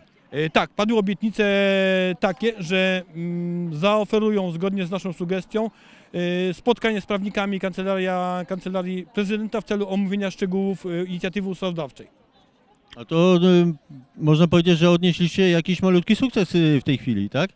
Połowiczny, bo dopiero dojście do tych rozmów. A naprawdę sukcesem będzie, jeżeli powstanie ta inicjatywa ustawodawcza. Natomiast tak naprawdę sukcesem będzie już samo doprowadzenie do rozmów z prawnikami Kancelarii Prezydenta e, w celu omówienia szczegółowego tej inicjatywy. Dobrze. Ja z mojej strony dziękuję panu serdecznie. Muszę szczerze powiedzieć, że obserwując ten marsz, bardzo dobra organizacja, tak prawdę mówiąc, i życzę panu, jak i wszystkim osobom tutaj zgromadzonym owocnych sukcesów y, w walce właśnie z bezprawiem. Dziękuję panu bardzo, dziękuję państwu za uwagę, za słuchanie. Proszę państwa, tych, którzy mają jakieś sprawy, mają swoje problemy, albo takich, którzy chcieliby się włączyć e, w działalność społeczną, polityczną, e, proszę o kontakt. Proszę o wejście na stronę www.oburzeni.pl. Tam e, są moje artykuły, moich kolegów, jak również tematy, które omawiamy, po, po, pomagamy. Proszę o zapoznanie się z nimi i o ewentualny kontakt w celu zapoznania się samemu, również pomocy osobom, które mają problemy i nie potrafią sobie z nimi poradzić. Dziękuję. Dziękuję państwu serdecznie z Pałacu Prezydenckiego Mirosław Arak, Studio Polaków. Do zobaczenia.